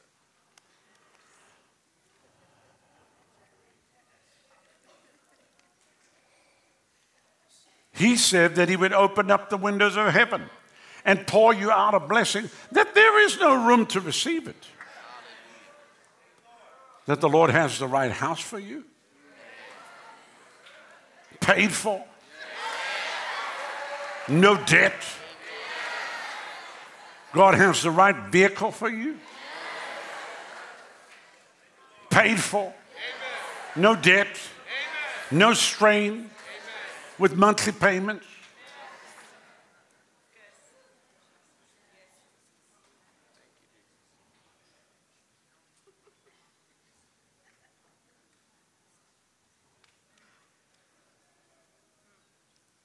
I'll talk a little bit about this next week. I mean, when you look at people in the world, and just going to some of the circles, there's people with so much money they don't even know what to do with it. The money they waste every month. Hundreds of thousands of dollars, half a million, million bucks is spending money. They didn't think anything of it. And you might have heard me tell the story. Years ago, back in the 90s, I was preaching in West Palm Beach. And uh, I'm a friend of the Player family, Gary Player's family, his son, and a well, daughter, and, that, and I met Gary, who's one of the top golfers in the world. He's now in his late 80s. And um, there was a special event being put on at Wayne Huizenga's private golf course, which I think only had like 200 members. They, you know, a lot of the guys tried to join Augusta, but because they weren't allowed to, they just built their own course. And they're beautiful. I mean, just like when you look at it, you wonder, where are you? It's like the way everything's done is just like next level. So um, I was invited to go to this auction. It was like a silent auction. Gary was raising money for a school that he had in Southern Africa, and he put a lot of his memorabilia up, and people were bidding in it, It was called a, a blind auction, and then you'd only know later who would, would end up getting it. And um, just many things. When he won the Masters, signed things, golf clubs, tro- you know, all kinds of things. And uh, so I arrive, and the guy that, uh, when he heard about it, the businessman said, Listen, he said, Can you talk to Gary Player and, and, get this?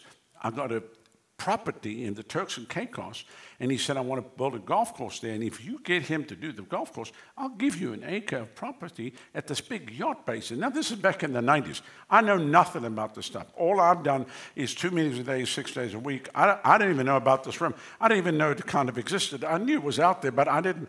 How am I going to ever cross the path of that? So he said, You mind talking to him? Here's the plans of the thing. He rolled it out. He said, Take my BMW, the big one, the 745i or whatever, and he put it in the trunk of the car. He said, Just go and see if you can get it. I'll give you an acre at this big deep-water yacht, uh, yacht club we're going to build there. So I thought, man, I get to be a mogul for a, uh, for an afternoon, evening. You know, I'm going to become a, a tycoon. You know, so I drive. I get to the place. I walk in, and as I walk in, I mean, everybody who's who's who in the financial zoo is there.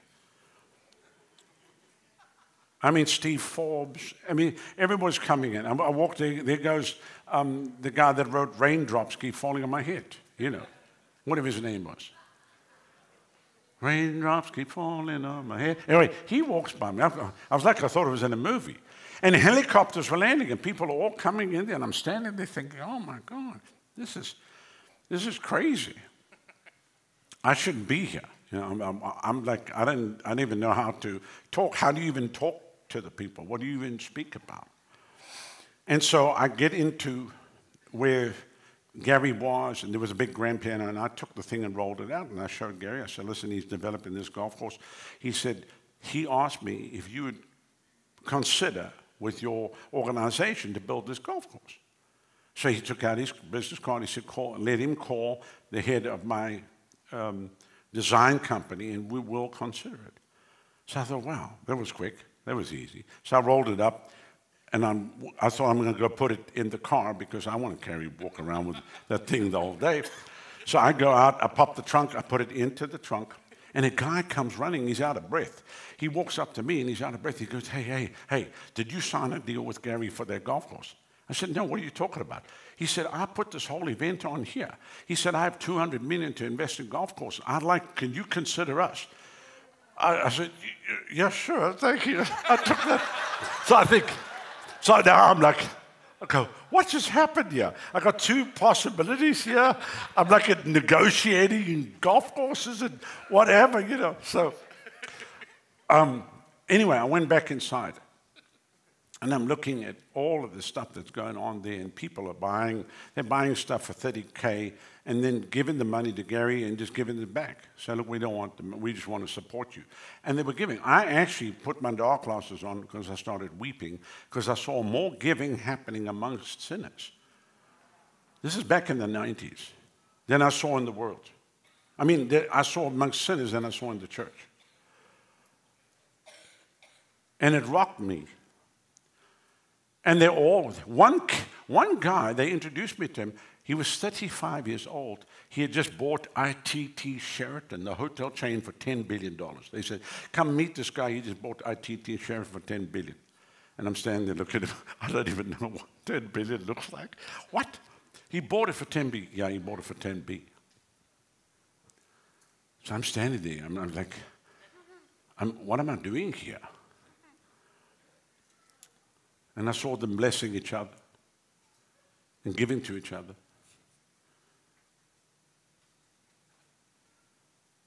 And even though there's competition, they were like, you know, this is what we do. And I heard the Lord say, These people are living my people's inheritance. They're living my people's inheritance.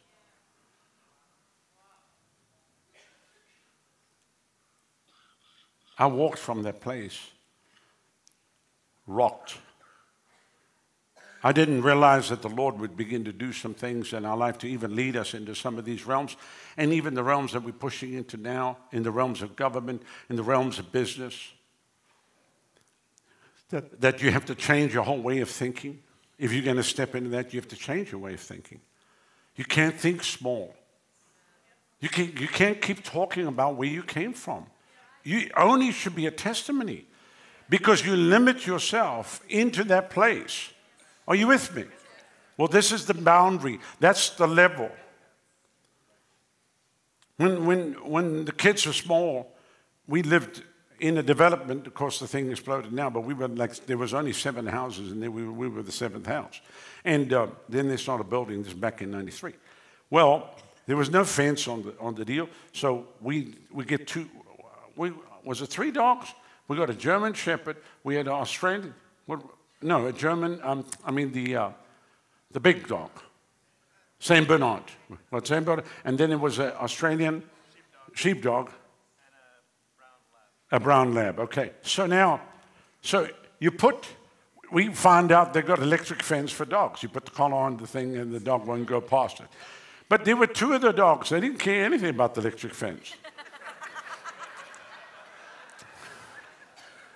They, they, they, didn't care about the electric fence. Well, if you go there, you're going to get shocked. They went right through the fence.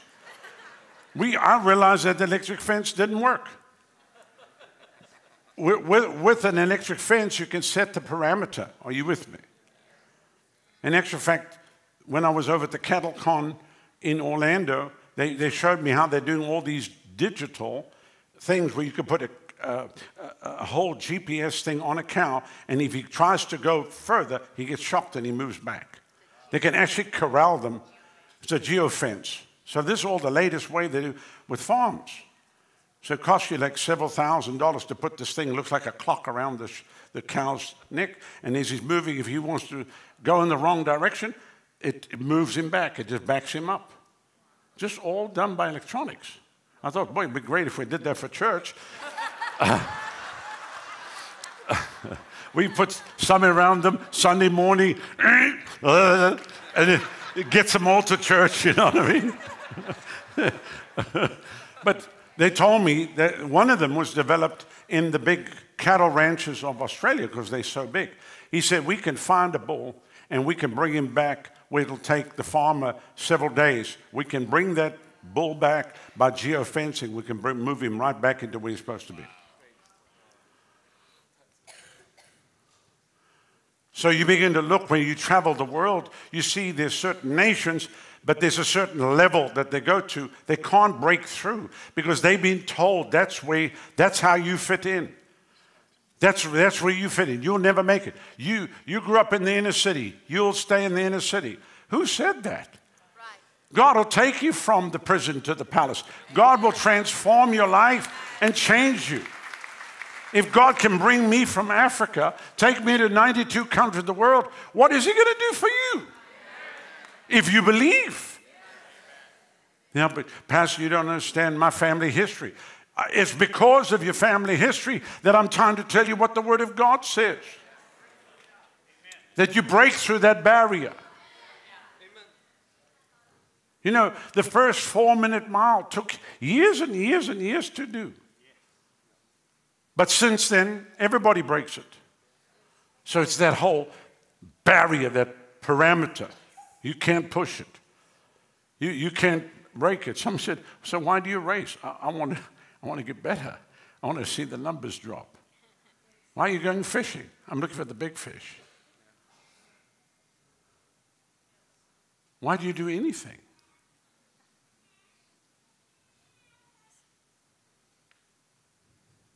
Is this helping anybody here? So, what will hinder you is the limitations of your own mind and the words of people around you that tell you you'll never amount to anything. Which that's what I heard my whole beginning of ministry. You'll never, you'll never do anything. You'll never go anywhere. And I just, we actually started laughing about it. We thought it was funny. We still laugh about it. We still, people still send us criticisms and all kind of stuff. We just look at it and laugh. My wife posted on her Instagram about he who finds a wife finds a good thing. It's scripture. You can, she said, I cannot believe the people that have gone crazy on me just because of the scripture. One guy said, Well, I'm too old anyway to find a wife now, so what does that even mean to me? I mean, and, and then they go, Let a woman be silent in the church. Woman should not be preaching. It's a woman's conference, you dumb bunny.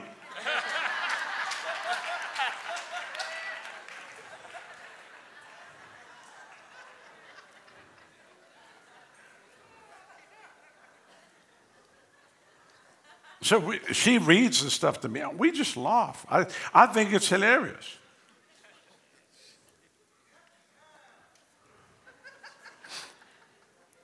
I think she was wearing a beautiful floral dress. Somebody goes, He who finds a floral dress finds a curtain or finds a, a tablecloth. My wife just laughs at it because it doesn't really mean anything.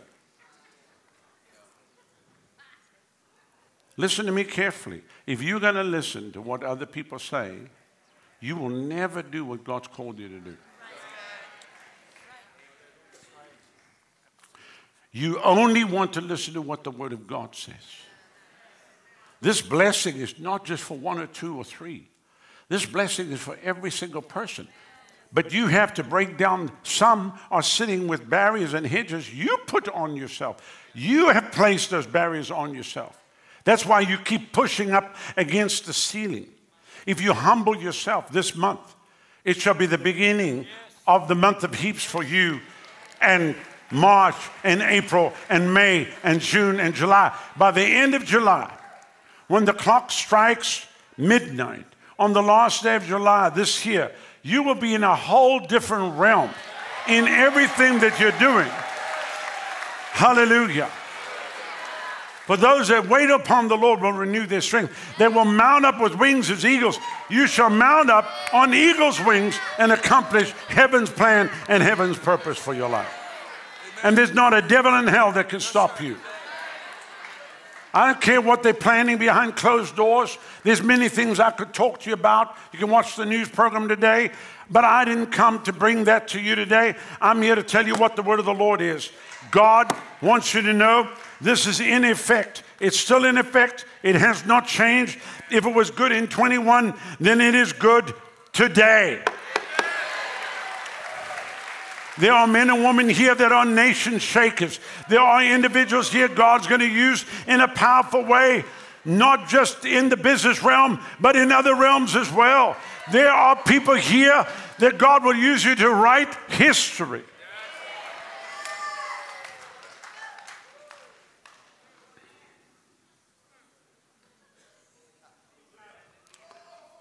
That barrier will always be there. But you'll prevail. I said, You'll prevail. Hallelujah.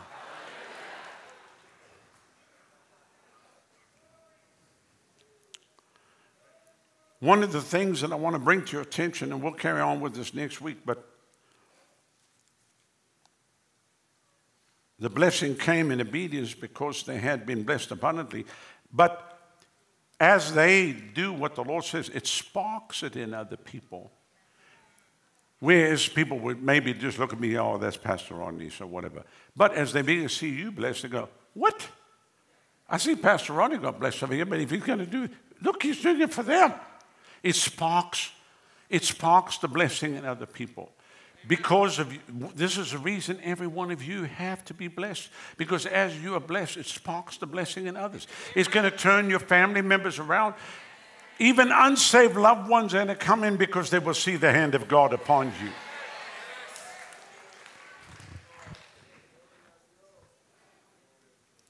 And it starts today. It starts here. And it runs through July. The five months of laying into the seventh month, laying the foundation. March, April, May, June, July.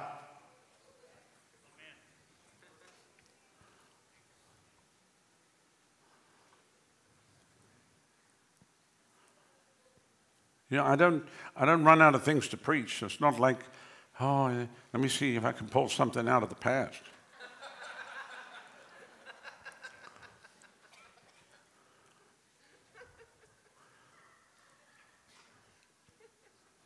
I mean, it hit me like a sledgehammer.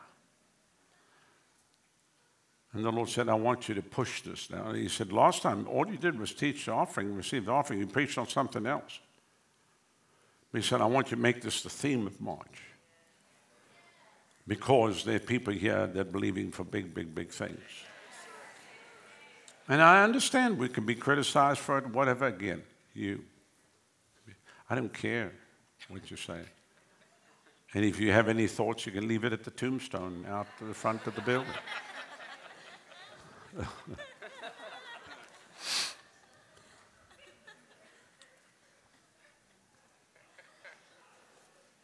I'm not trying to be mean, but we have an assignment. And this is not just about what God's called us to do, it's about what God's called every single one of you to do. Can you say amen? amen. Every one of you.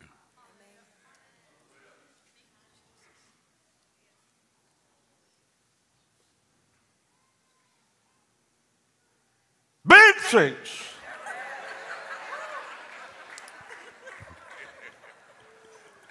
I did that on purpose. You know that I did that. I knew you were going to react like that. Big things.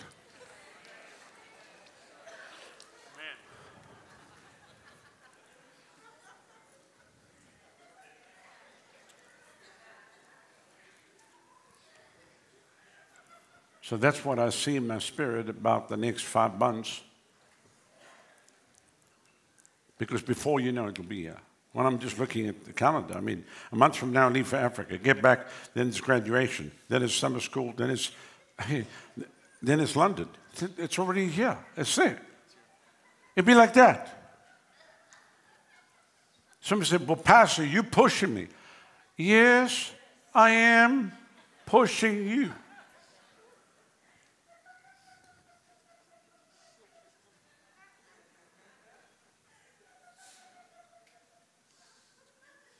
And you shall be very happy.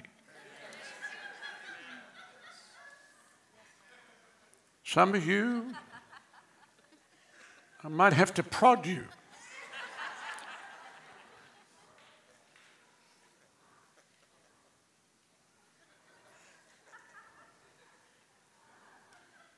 I didn't say kick you.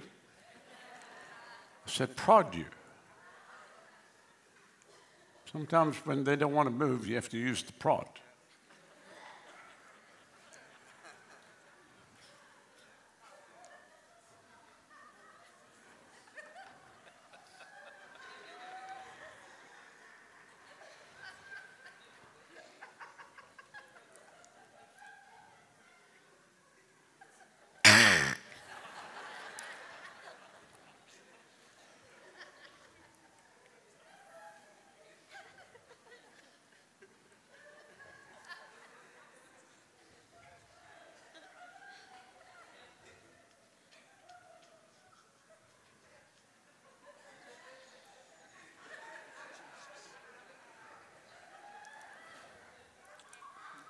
Somebody said, What's happening right now? You're being prodded?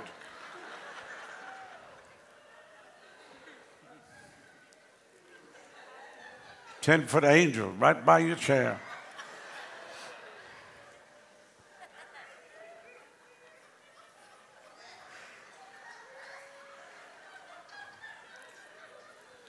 I break off every hedge of limitation off of God's people here today. In the name of Jesus, I break it off of you and I speak a release over your life. Hearts open to receive all that heaven has. Minds that will stop speaking about how impossible it is to do anything. But they will say, All things are possible to him that believeth. And so, Father, we receive your word here today. And we receive the increase and we receive the multiplication. And we cause this to come into effect as of this morning here on the third day of month of March 2024. And the acceleration throughout this month shall be, and then into April, and then into May, and then into June, and into July. We thank you. We thank you for it, just like the very first time when this hit us. So do it again. You told me, you said, put pressure on my word. You put pressure on my word, son. Tell the people to put pressure on my word. My word shall carry them. My word shall cause it to come to pass. And they shall be happy and blessed. They shall be happy and blessed. They shall be happy and blessed. And there shall be made a blessing unto many. And the blessing that comes upon your life will flow to everyone round about you, to your neighbors, to your neighborhood, your business, to all your staff, your ministry that God has entrusted to you. And people will say, truly, the hand of the Lord is upon you. The favor of God rests upon you. And the open doors that no man can shut. And you shall rejoice and shall be exceedingly glad and shall be happy. Hallelujah. Now lift your hands and thank Him for that right now. Thank you for that. Thank you for that. Thank Him for that. Thank Him for that. Gracias, gracias, Señor. Gracias. Thank you, Lord. Thank you for your abundant grace. That's it right now. That's the abundant grace just coming upon God's people.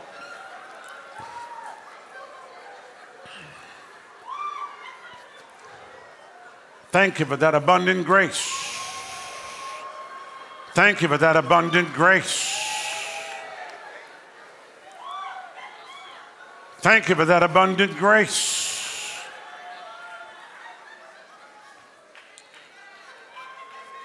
The abundant grace upon every face in this place to run the race.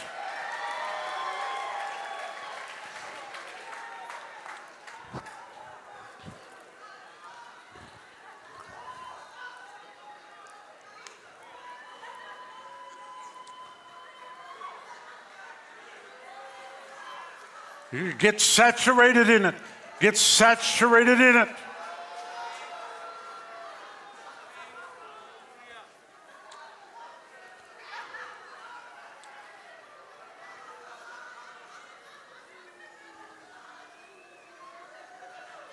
You cannot bless others when you're not bless yourself.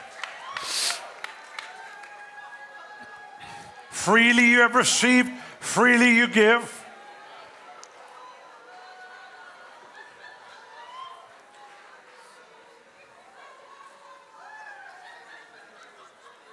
And for some, you know, they'll say, well, this is all about money. It's not. It's about extreme blessing. And just so you know, we're not out there looking for money. Money's out looking for us. We're not out there looking for blessing. I'm not out there looking for blessing. Blessing's out looking for me. Uh, uh, uh, uh, uh, uh, uh, uh.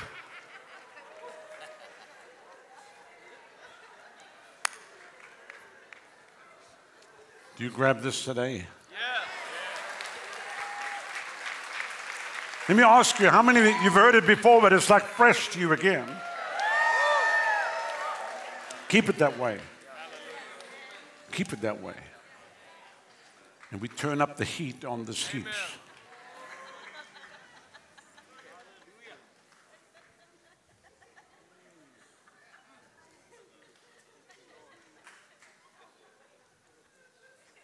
Praise God. Praise God.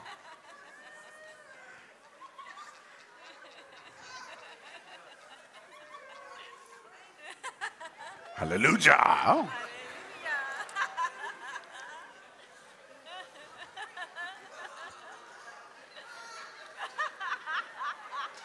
There we are. We're prodding people right now. I've got angels all around prodding people right now.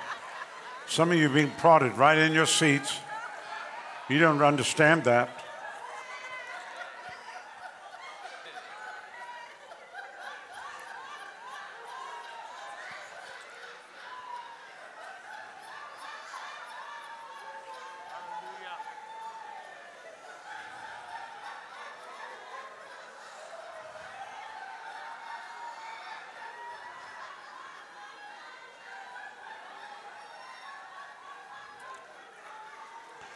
Somebody said, Pastor, what's happening? There's heaps of joy. There's heaps of joy here in this room.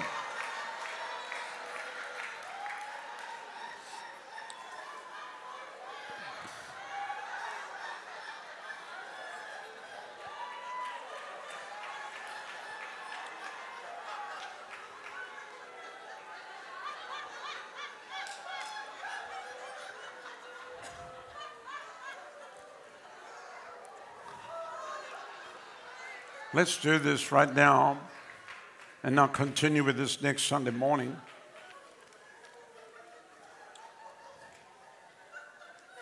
Because next Sunday morning I'm going to talk about heaps and I'm going to talk about the blessing. Heaps of blessings. Blessing. What does that actually mean? A lot of people don't have no clue.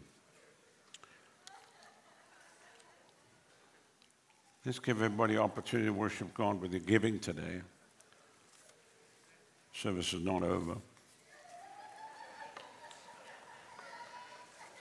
It's not like we're going to be long. I have to leave. But after this, I give a call and then we'll have communion. I want the ushers to come and hand out the offering envelopes. Let's pray. Ask God what He would have you do and be obedient to obey the Holy Ghost. I believe this offering will set the tone for the month of March and will set the tone for the five months. So do this prayerfully. Say, Lord, what do you want me to do? Then be obedient to obey the Holy Ghost. Pastor Eric will come give instruction for everybody watching by way of television. Do exactly what God tells you to do. And obey the Lord today. Hallelujah. Well, of course, the envelopes are coming down the row. Make your checks out to the river. You can also give by credit card, electronically, if you choose. And then for everybody around the world, if you look at whatever way you're watching what's the screen, you'll see many different ways to sow seed. Ask the Lord what He'd have you do in this foundation for the heaps here. Do what He tells you to do. Go to revival.com, click invest now, revival.com, click invest now at the top right, or the direct link is revival.com forward slash giving or revival.com forward slash PayPal. Those are different ways to sow especially all around the world. And then you can actually give through your cell phone, uh, which is text message or Pushpay giving. And you'll see once again on the screen text 77977 give river. Text 77977 and altogether give river. And you can sow seed right through your cell phone. And then also we have Cash App which is dollar sign revival ministries. You'll see there's an S on the end of it. It's plural revival ministries, and it's a blue logo. And then on that app, make sure you put under the notes your first and last name, your ministry name, or your business name. And please do that. And that's right under Cash App.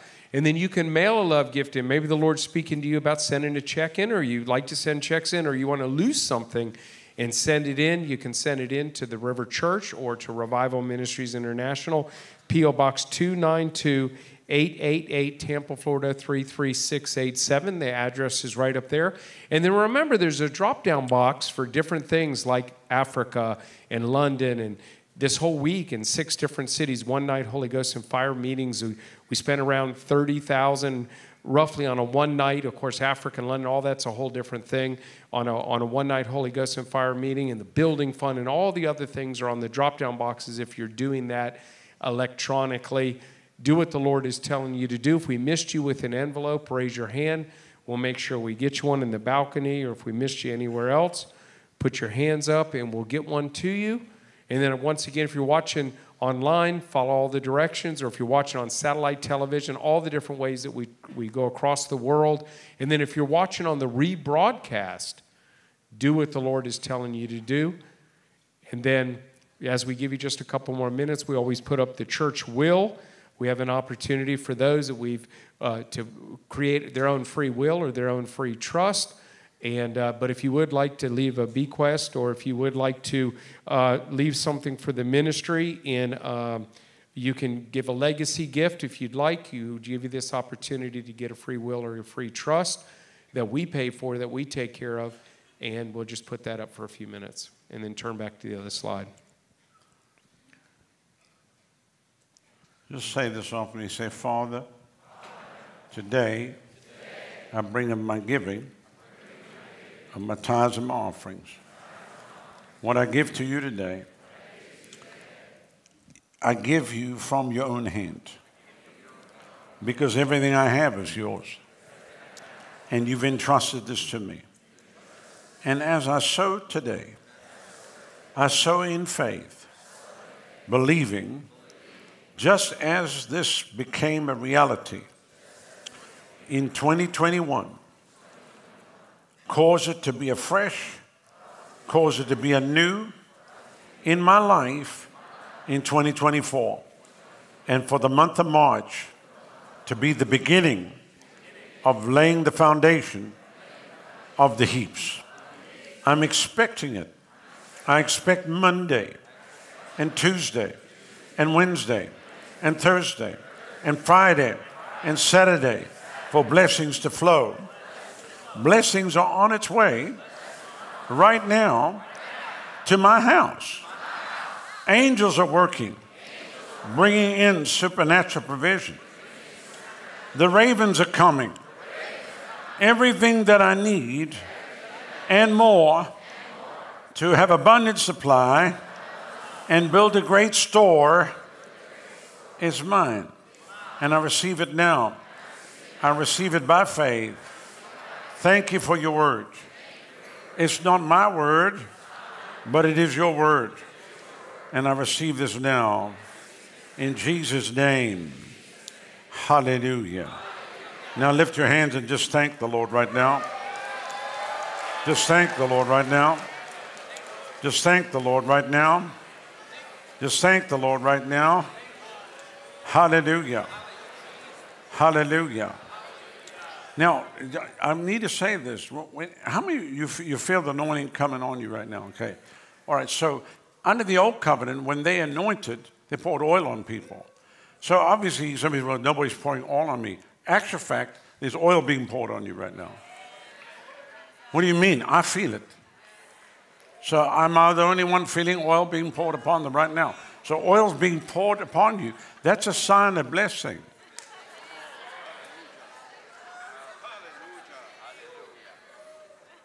That oil is the fragrance. And that's the sign of blessing. So that you can go and hand it off to other people. Thank you, Jesus. Thank you, Jesus.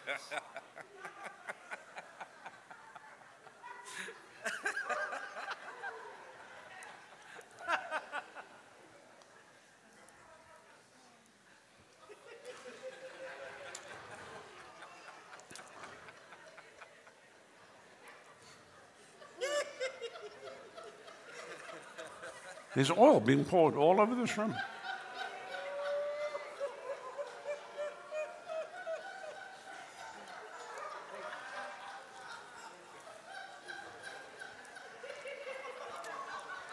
Maybe you're one of the members. You only need to come once every six months because you can't handle the oil. It's just too much oil.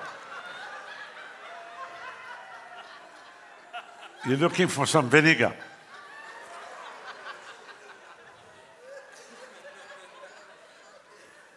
Pastor, there's too much oil.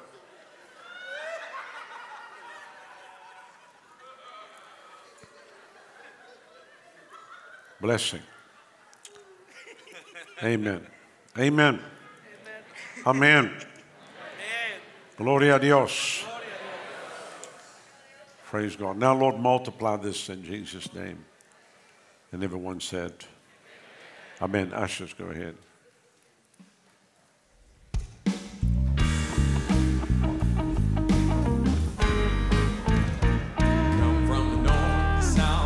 East and west, and every place between.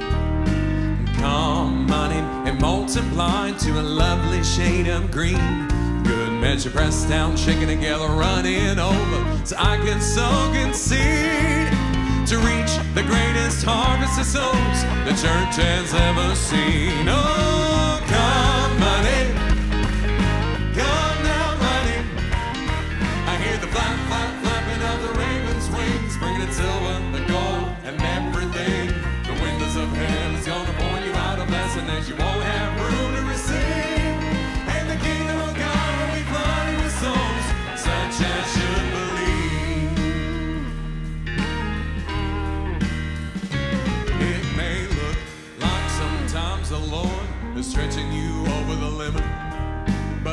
want you to listen to what I'm saying, cause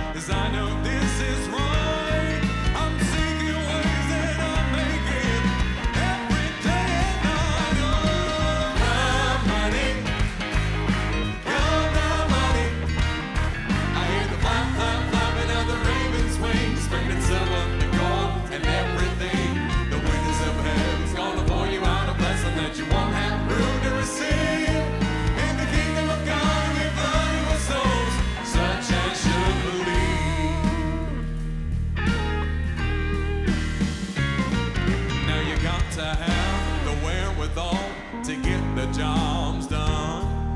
But you're limited to how much you can do if you are short on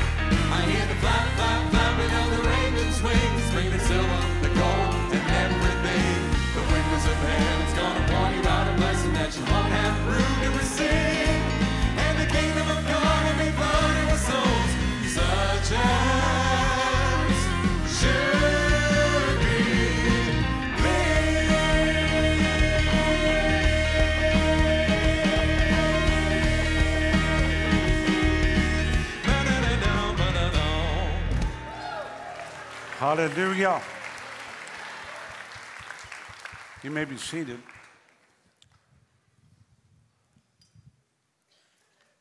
I want everybody just to bow your heads, if you would, please.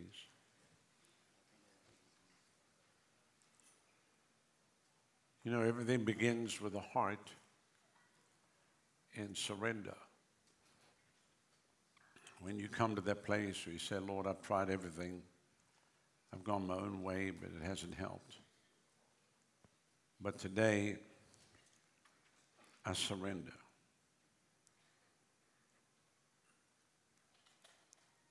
Maybe you're here on the property today and you fit in any one of these categories. I'd love to pray with you and for you. What would happen if today was your last day on the earth? Where would you go? Where would you spend eternity? I want you to know there is a heaven to gain and a hell to shun. And you don't have to go to devil's hell because 2,000 years ago, on Calvary's cross, the price was paid, the blood was shed. And just like the old song said, there is a fountain filled with blood, drawn from Emmanuel's veins, and sinners plunged beneath that flood, lose all their guilty stain. Today, the power of sin will be broken, the power of guilt and shame will be removed from your life. You might have come one way and leave another way. I know there's people that would watch and say, well, you should have done this up front. It's not your church. This is not the only time we win souls. We win souls every moment of the day. If all we did was give an altar call Sunday morning, we might as well close the house. More people are being saved every week in Central Florida because the people are winning souls. Some mega churches boast of 200 salvations in one year. We've got kids that do more than that. We have 10 year old kids that are mega churches in themselves. But if there be any here today that don't know Jesus, we'd like to give you that opportunity. And then for the benefit of those watching by way of television, you clicked through and thought this was something strange, so you kept watching, but the Lord has you there, riveted in your seat, in your house, on the Sunday morning, as we're live, millions of homes around the world. The Bible tells us what is your life? It's even a vapor that appears for a little time and then vanisheth away. In the long line of eternity, human existence is like a blip on the screen. And today you can say, Yes, Lord, I surrender to you. He loves you, He stands with arms wide open. One of the things that became so evident to me in 2020, that early hours of the morning of the open vision, was how much He loved people. That the moment you realize that, you could feel that love that reaches and transcends everything. It's a lost and dying world that He's calling right now.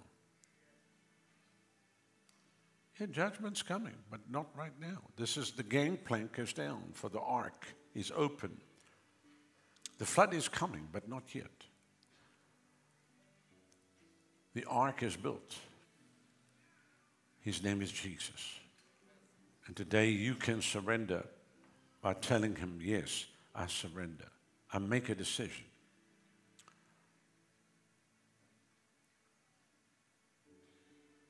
What would happen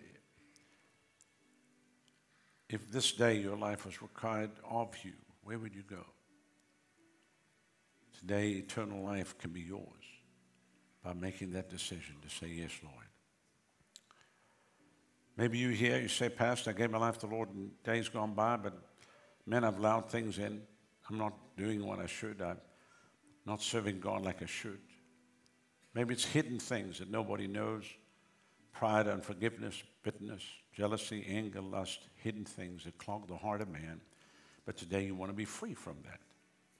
He said, I will take out the stony heart and put in a heart of flesh. He said, A new spirit will I put within you. Will you let him do that? Maybe it's not hidden. Maybe it's something outward that all can see, which makes it even worse. You try to hide it, but it doesn't matter. Everybody knows. But today you say, you know, forget all that. I'm coming back. I'm going to fall in love with Jesus all over again. I'm going to get my first love back.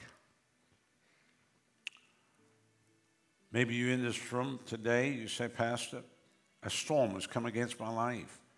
I was going along doing great. This thing hit me like a Mack truck from hell.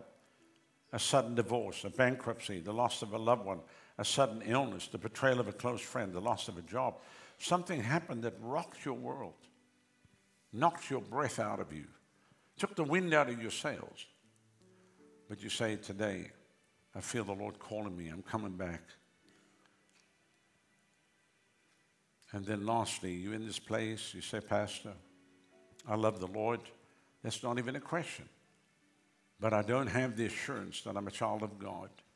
And I want to have that assurance today. I want to know that I know that I know that I'm a child of God. If you fit in any one of these categories, remember, God doesn't look on the outside, He looks on the heart. And we either have one of three temperatures hot, lukewarm, or cold. This is not the hour to be lukewarm, and definitely not an hour to be cold. This is an hour to be on fire for Jesus. If this is you and you fit in any one of these categories, I want to pray with you and for you right where you are. Quickly, just put your hand up. Say, pray for me right now. Thank you, thank you, thank you, thank you, thank you, thank you. In the balcony, yes, yes, yes. On the main floor, thank you. Yes, hands are going up all across this place. Thank you, thank you, thank you, thank you. You can put your hands down now. I want you to look at me, please, over here in this section under the, the north balcony. If you didn't raise your hand but want to be included, just quickly slip the hand up and say, Include me in the prayer. Anyone else? Up on the north balcony, just slip your hand up and say, That's me. Anybody else? Over here on the floor, in the middle section here, under the west balcony, you didn't raise your hand but want to be included. Thank you. In the balcony itself, just put your hand up. Anybody else? Then here, under the south balcony on the floor here, quickly slip your hand up. I've seen your hand already. Thank you. And then up in the south balcony, slip your hand up. Thank you. I'm going to ask every person that raised your hand if you would stand to your feet all across the room, please. Stand to your feet. We're going to pray together. I want you to come from where you are and come stand right here. Come from the balcony. We'll wait for you. We'll wait for you. The ushers will help you down. Come stand right here. Today is your day of victory. Today is your day of freedom.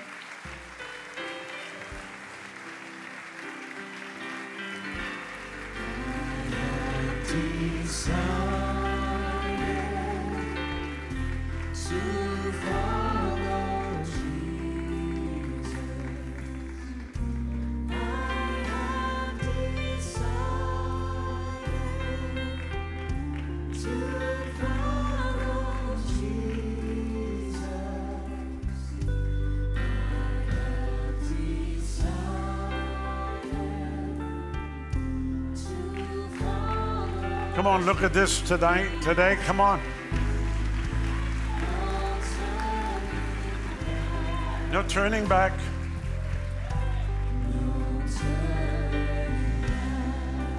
The cross before me, the world behind me.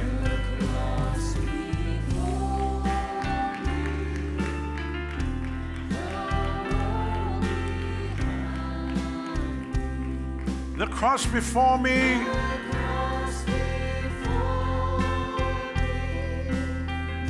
behind me. We're waiting for you from the balcony.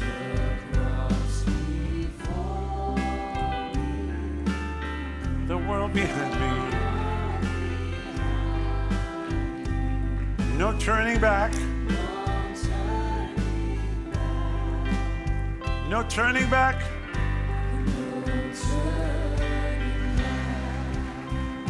You can take the whole world.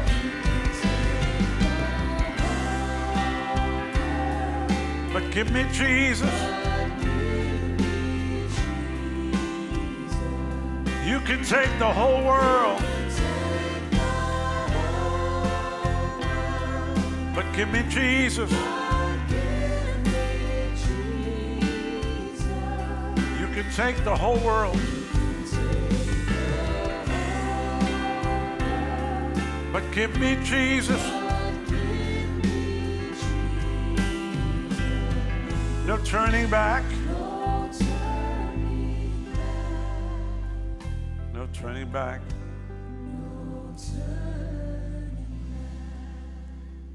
I want you to look at me right now. We're going to pray one simple prayer, one simple prayer fits all. If you mean business with God, God means business with you. I've had the privilege of doing this in 92 countries. Is my 44th year. Now, listen to me carefully. People come to me and they say, they even remember the year, they remember the altar where they prayed just like you're going to pray. And what the Lord has done in their life subsequently. So if God can do it for them, He do it for you. And we're going to pray right now. So I want you just to close your eyes, raise your right hand to heaven. That's where your help comes from. And pray this after me. Believe it in your heart. Say it with your mouth. Say, Father, I come to you in the precious name of your Son, Jesus. Lord, you said in your word, if I confess with my mouth, Jesus is my Lord and my Savior, and I believe in my heart that God has raised Jesus from the dead, I will be saved. So, Father, right now, I confess Jesus is my Lord and my Savior. Come into my heart right now. Take out the stony heart, put in a heart of flesh. Wash me, cleanse me, change me, fill me, use me. Let me never be the same again. I turn my back on the world. I turn my back on sin. And I follow you, Lord Jesus. Thank you for dying for me. Thank you for shedding your blood for me. Thank you that on the third day you rose for me. And thank you that you're coming back again for me. From this day on, I'll never be the same again. I confess Jesus Christ has come in the flesh. He is my Lord and my Savior. And right now, by faith, in the finished work of the cross, and by the shed blood of Jesus, I'm saved. I'm born again. And I'm on my way to heaven because I have Jesus in my heart. Now lift those hands right now. Father, I just thank you. Every effect of sin is broken off of their life. I break every curse. I break every witchcraft worked against them. Any addictions, any bondages, any drugs, alcohol. I break it. I break it off of you right now.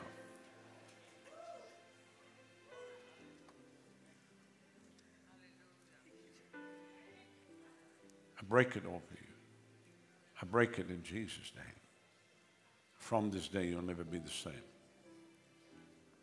From this day, you'll never be the same. From this day, you'll never be the same. From this day, you'll never be the same.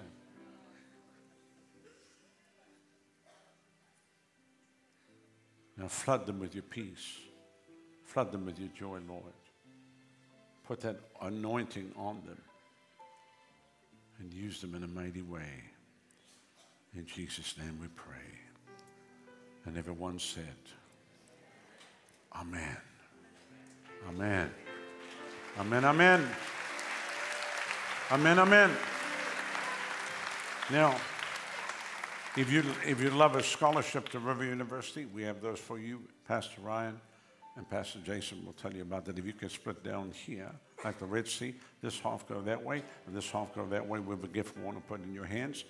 Welcome to the family. Welcome to the family.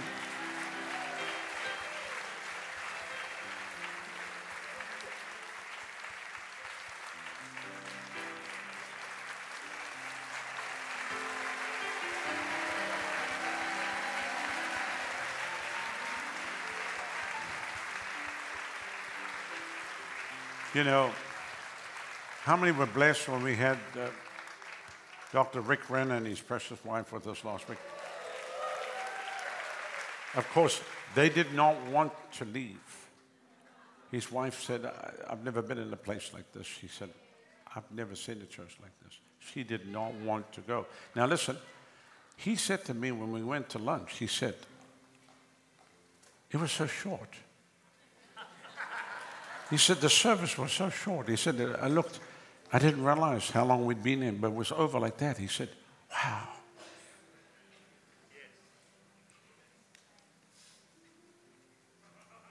Of course, they're going to be back. They will be back.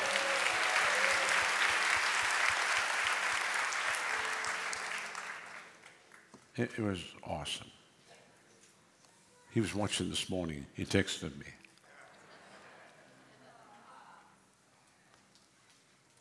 He didn't want to leave. He leant over and he said, I don't know why anybody in their right mind who lived in the area wouldn't come to this church. So I said, Well, I'll, I'll let you come to the conclusion. I want the ushers to come hand out the communion. I want to pray with uh, JC and Chris Ann, pastors. Come, please. They headed for Latvia, for Riga. Latvia. And um, not permanently, just one week. They're coming back. Who are you looking for? Okay. Okay. Yeah, so they, they're going for a week. When, you'll be back next week? The 14th, okay. And they're very excited about this. This trip is going to be huge. How many know that the Lord used this ministry and, and them to help stop what the devil was trying to do in Latvia? Five letters that were written to five different departments and said, if you continue in your tyranny, we'll go to the World Court in The Hague. They were about to take all the church's property away, and we backed them into a corner and they left them alone. Yeah, come right out of this ministry. So they're going there, and there's a whole conference they're speaking at. Everything's been put around them. Just join hands. Father, thank you for this precious family. This is only the beginning. this is only the beginning of what the Lord's doing. And there's, I just feel something very big is going to unfold and unfurl when you get there. In Jesus' name. Thank you for that. You about them as a wall of fire, no harm and evil can come nigh to them. And we thank you for it. In Jesus' name. In Jesus' name. In Jesus' name. In Jesus' name. In Jesus' name. Reach your hand out towards these. Father, these requests that have come in families, homes, lives. Grant unto them every single need met, we pray. In Jesus' name. And everyone said, Hallelujah. Hallelujah. Glory to God. I can be normal again. I just have one. Amen. I kept finding ones with two and three in. Amen. Thank God for this table. How many thank God for the bread and the cup? Thank God for his supernatural protection for us. And Isaiah 53, 4 and 5, surely hath borne our grief and carried our sorrows. Yet we did esteem him stricken, smitten of God, and afflicted, but he was wounded for our transgressions, he was bruised for our iniquities. The chastisement of our peace was upon him, and with his stripes we healed. Matthew 8, 17, that it might be fulfilled that which was spoken by the prophet Isaiah, saying, Himself took our infirmities and bare our sicknesses. 1 Peter 2, 24, who his own self bare our sins in his own body on the tree, that we, being dead to sin, should live in the righteousness by whose stripes we were healed. Now, Father, we thank you for this bread, representing your body, that as we partake of this, let there be instantaneous healings take place across this congregation.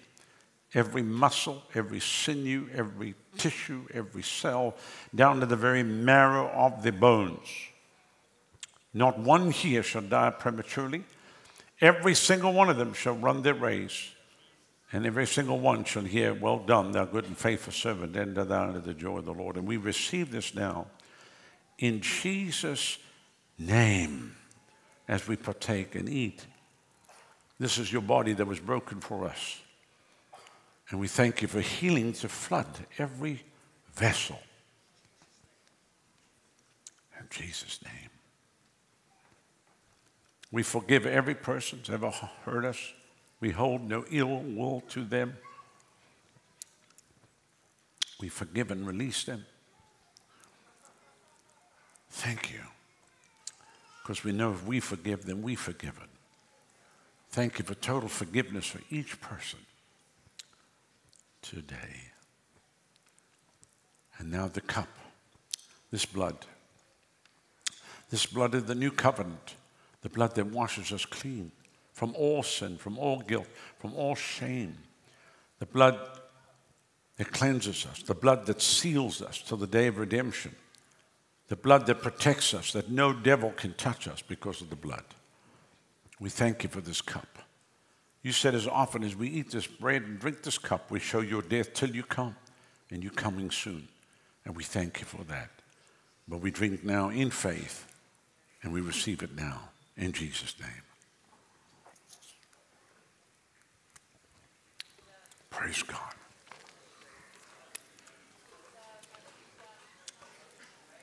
Now lift your hands and just thank Him.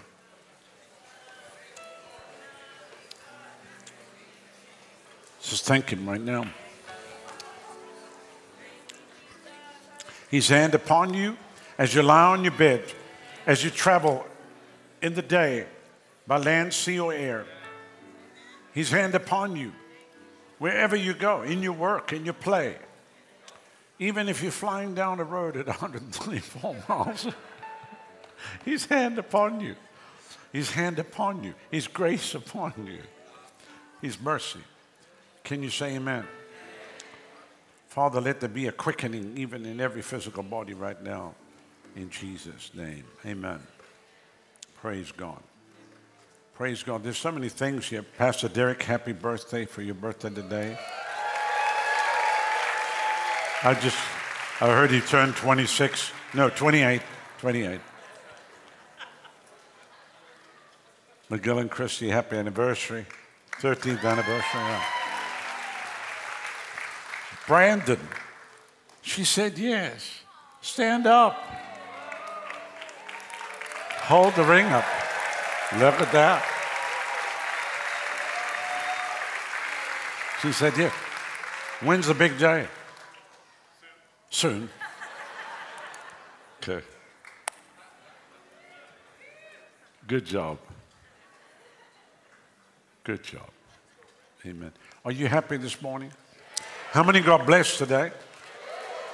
Pray for us this week, six places. And um, we love you. Everybody stand if you would. We're probably ending a little earlier. if, if you can call it earlier, but we're ending a little earlier. This is going to be a supernatural week. Monday, Tuesday, Wednesday, Thursday, Friday, Saturday. Amen. I'm expecting to hear many testimonies next week when we get back. Praise God. Let's sing a song of rejoicing. We love you.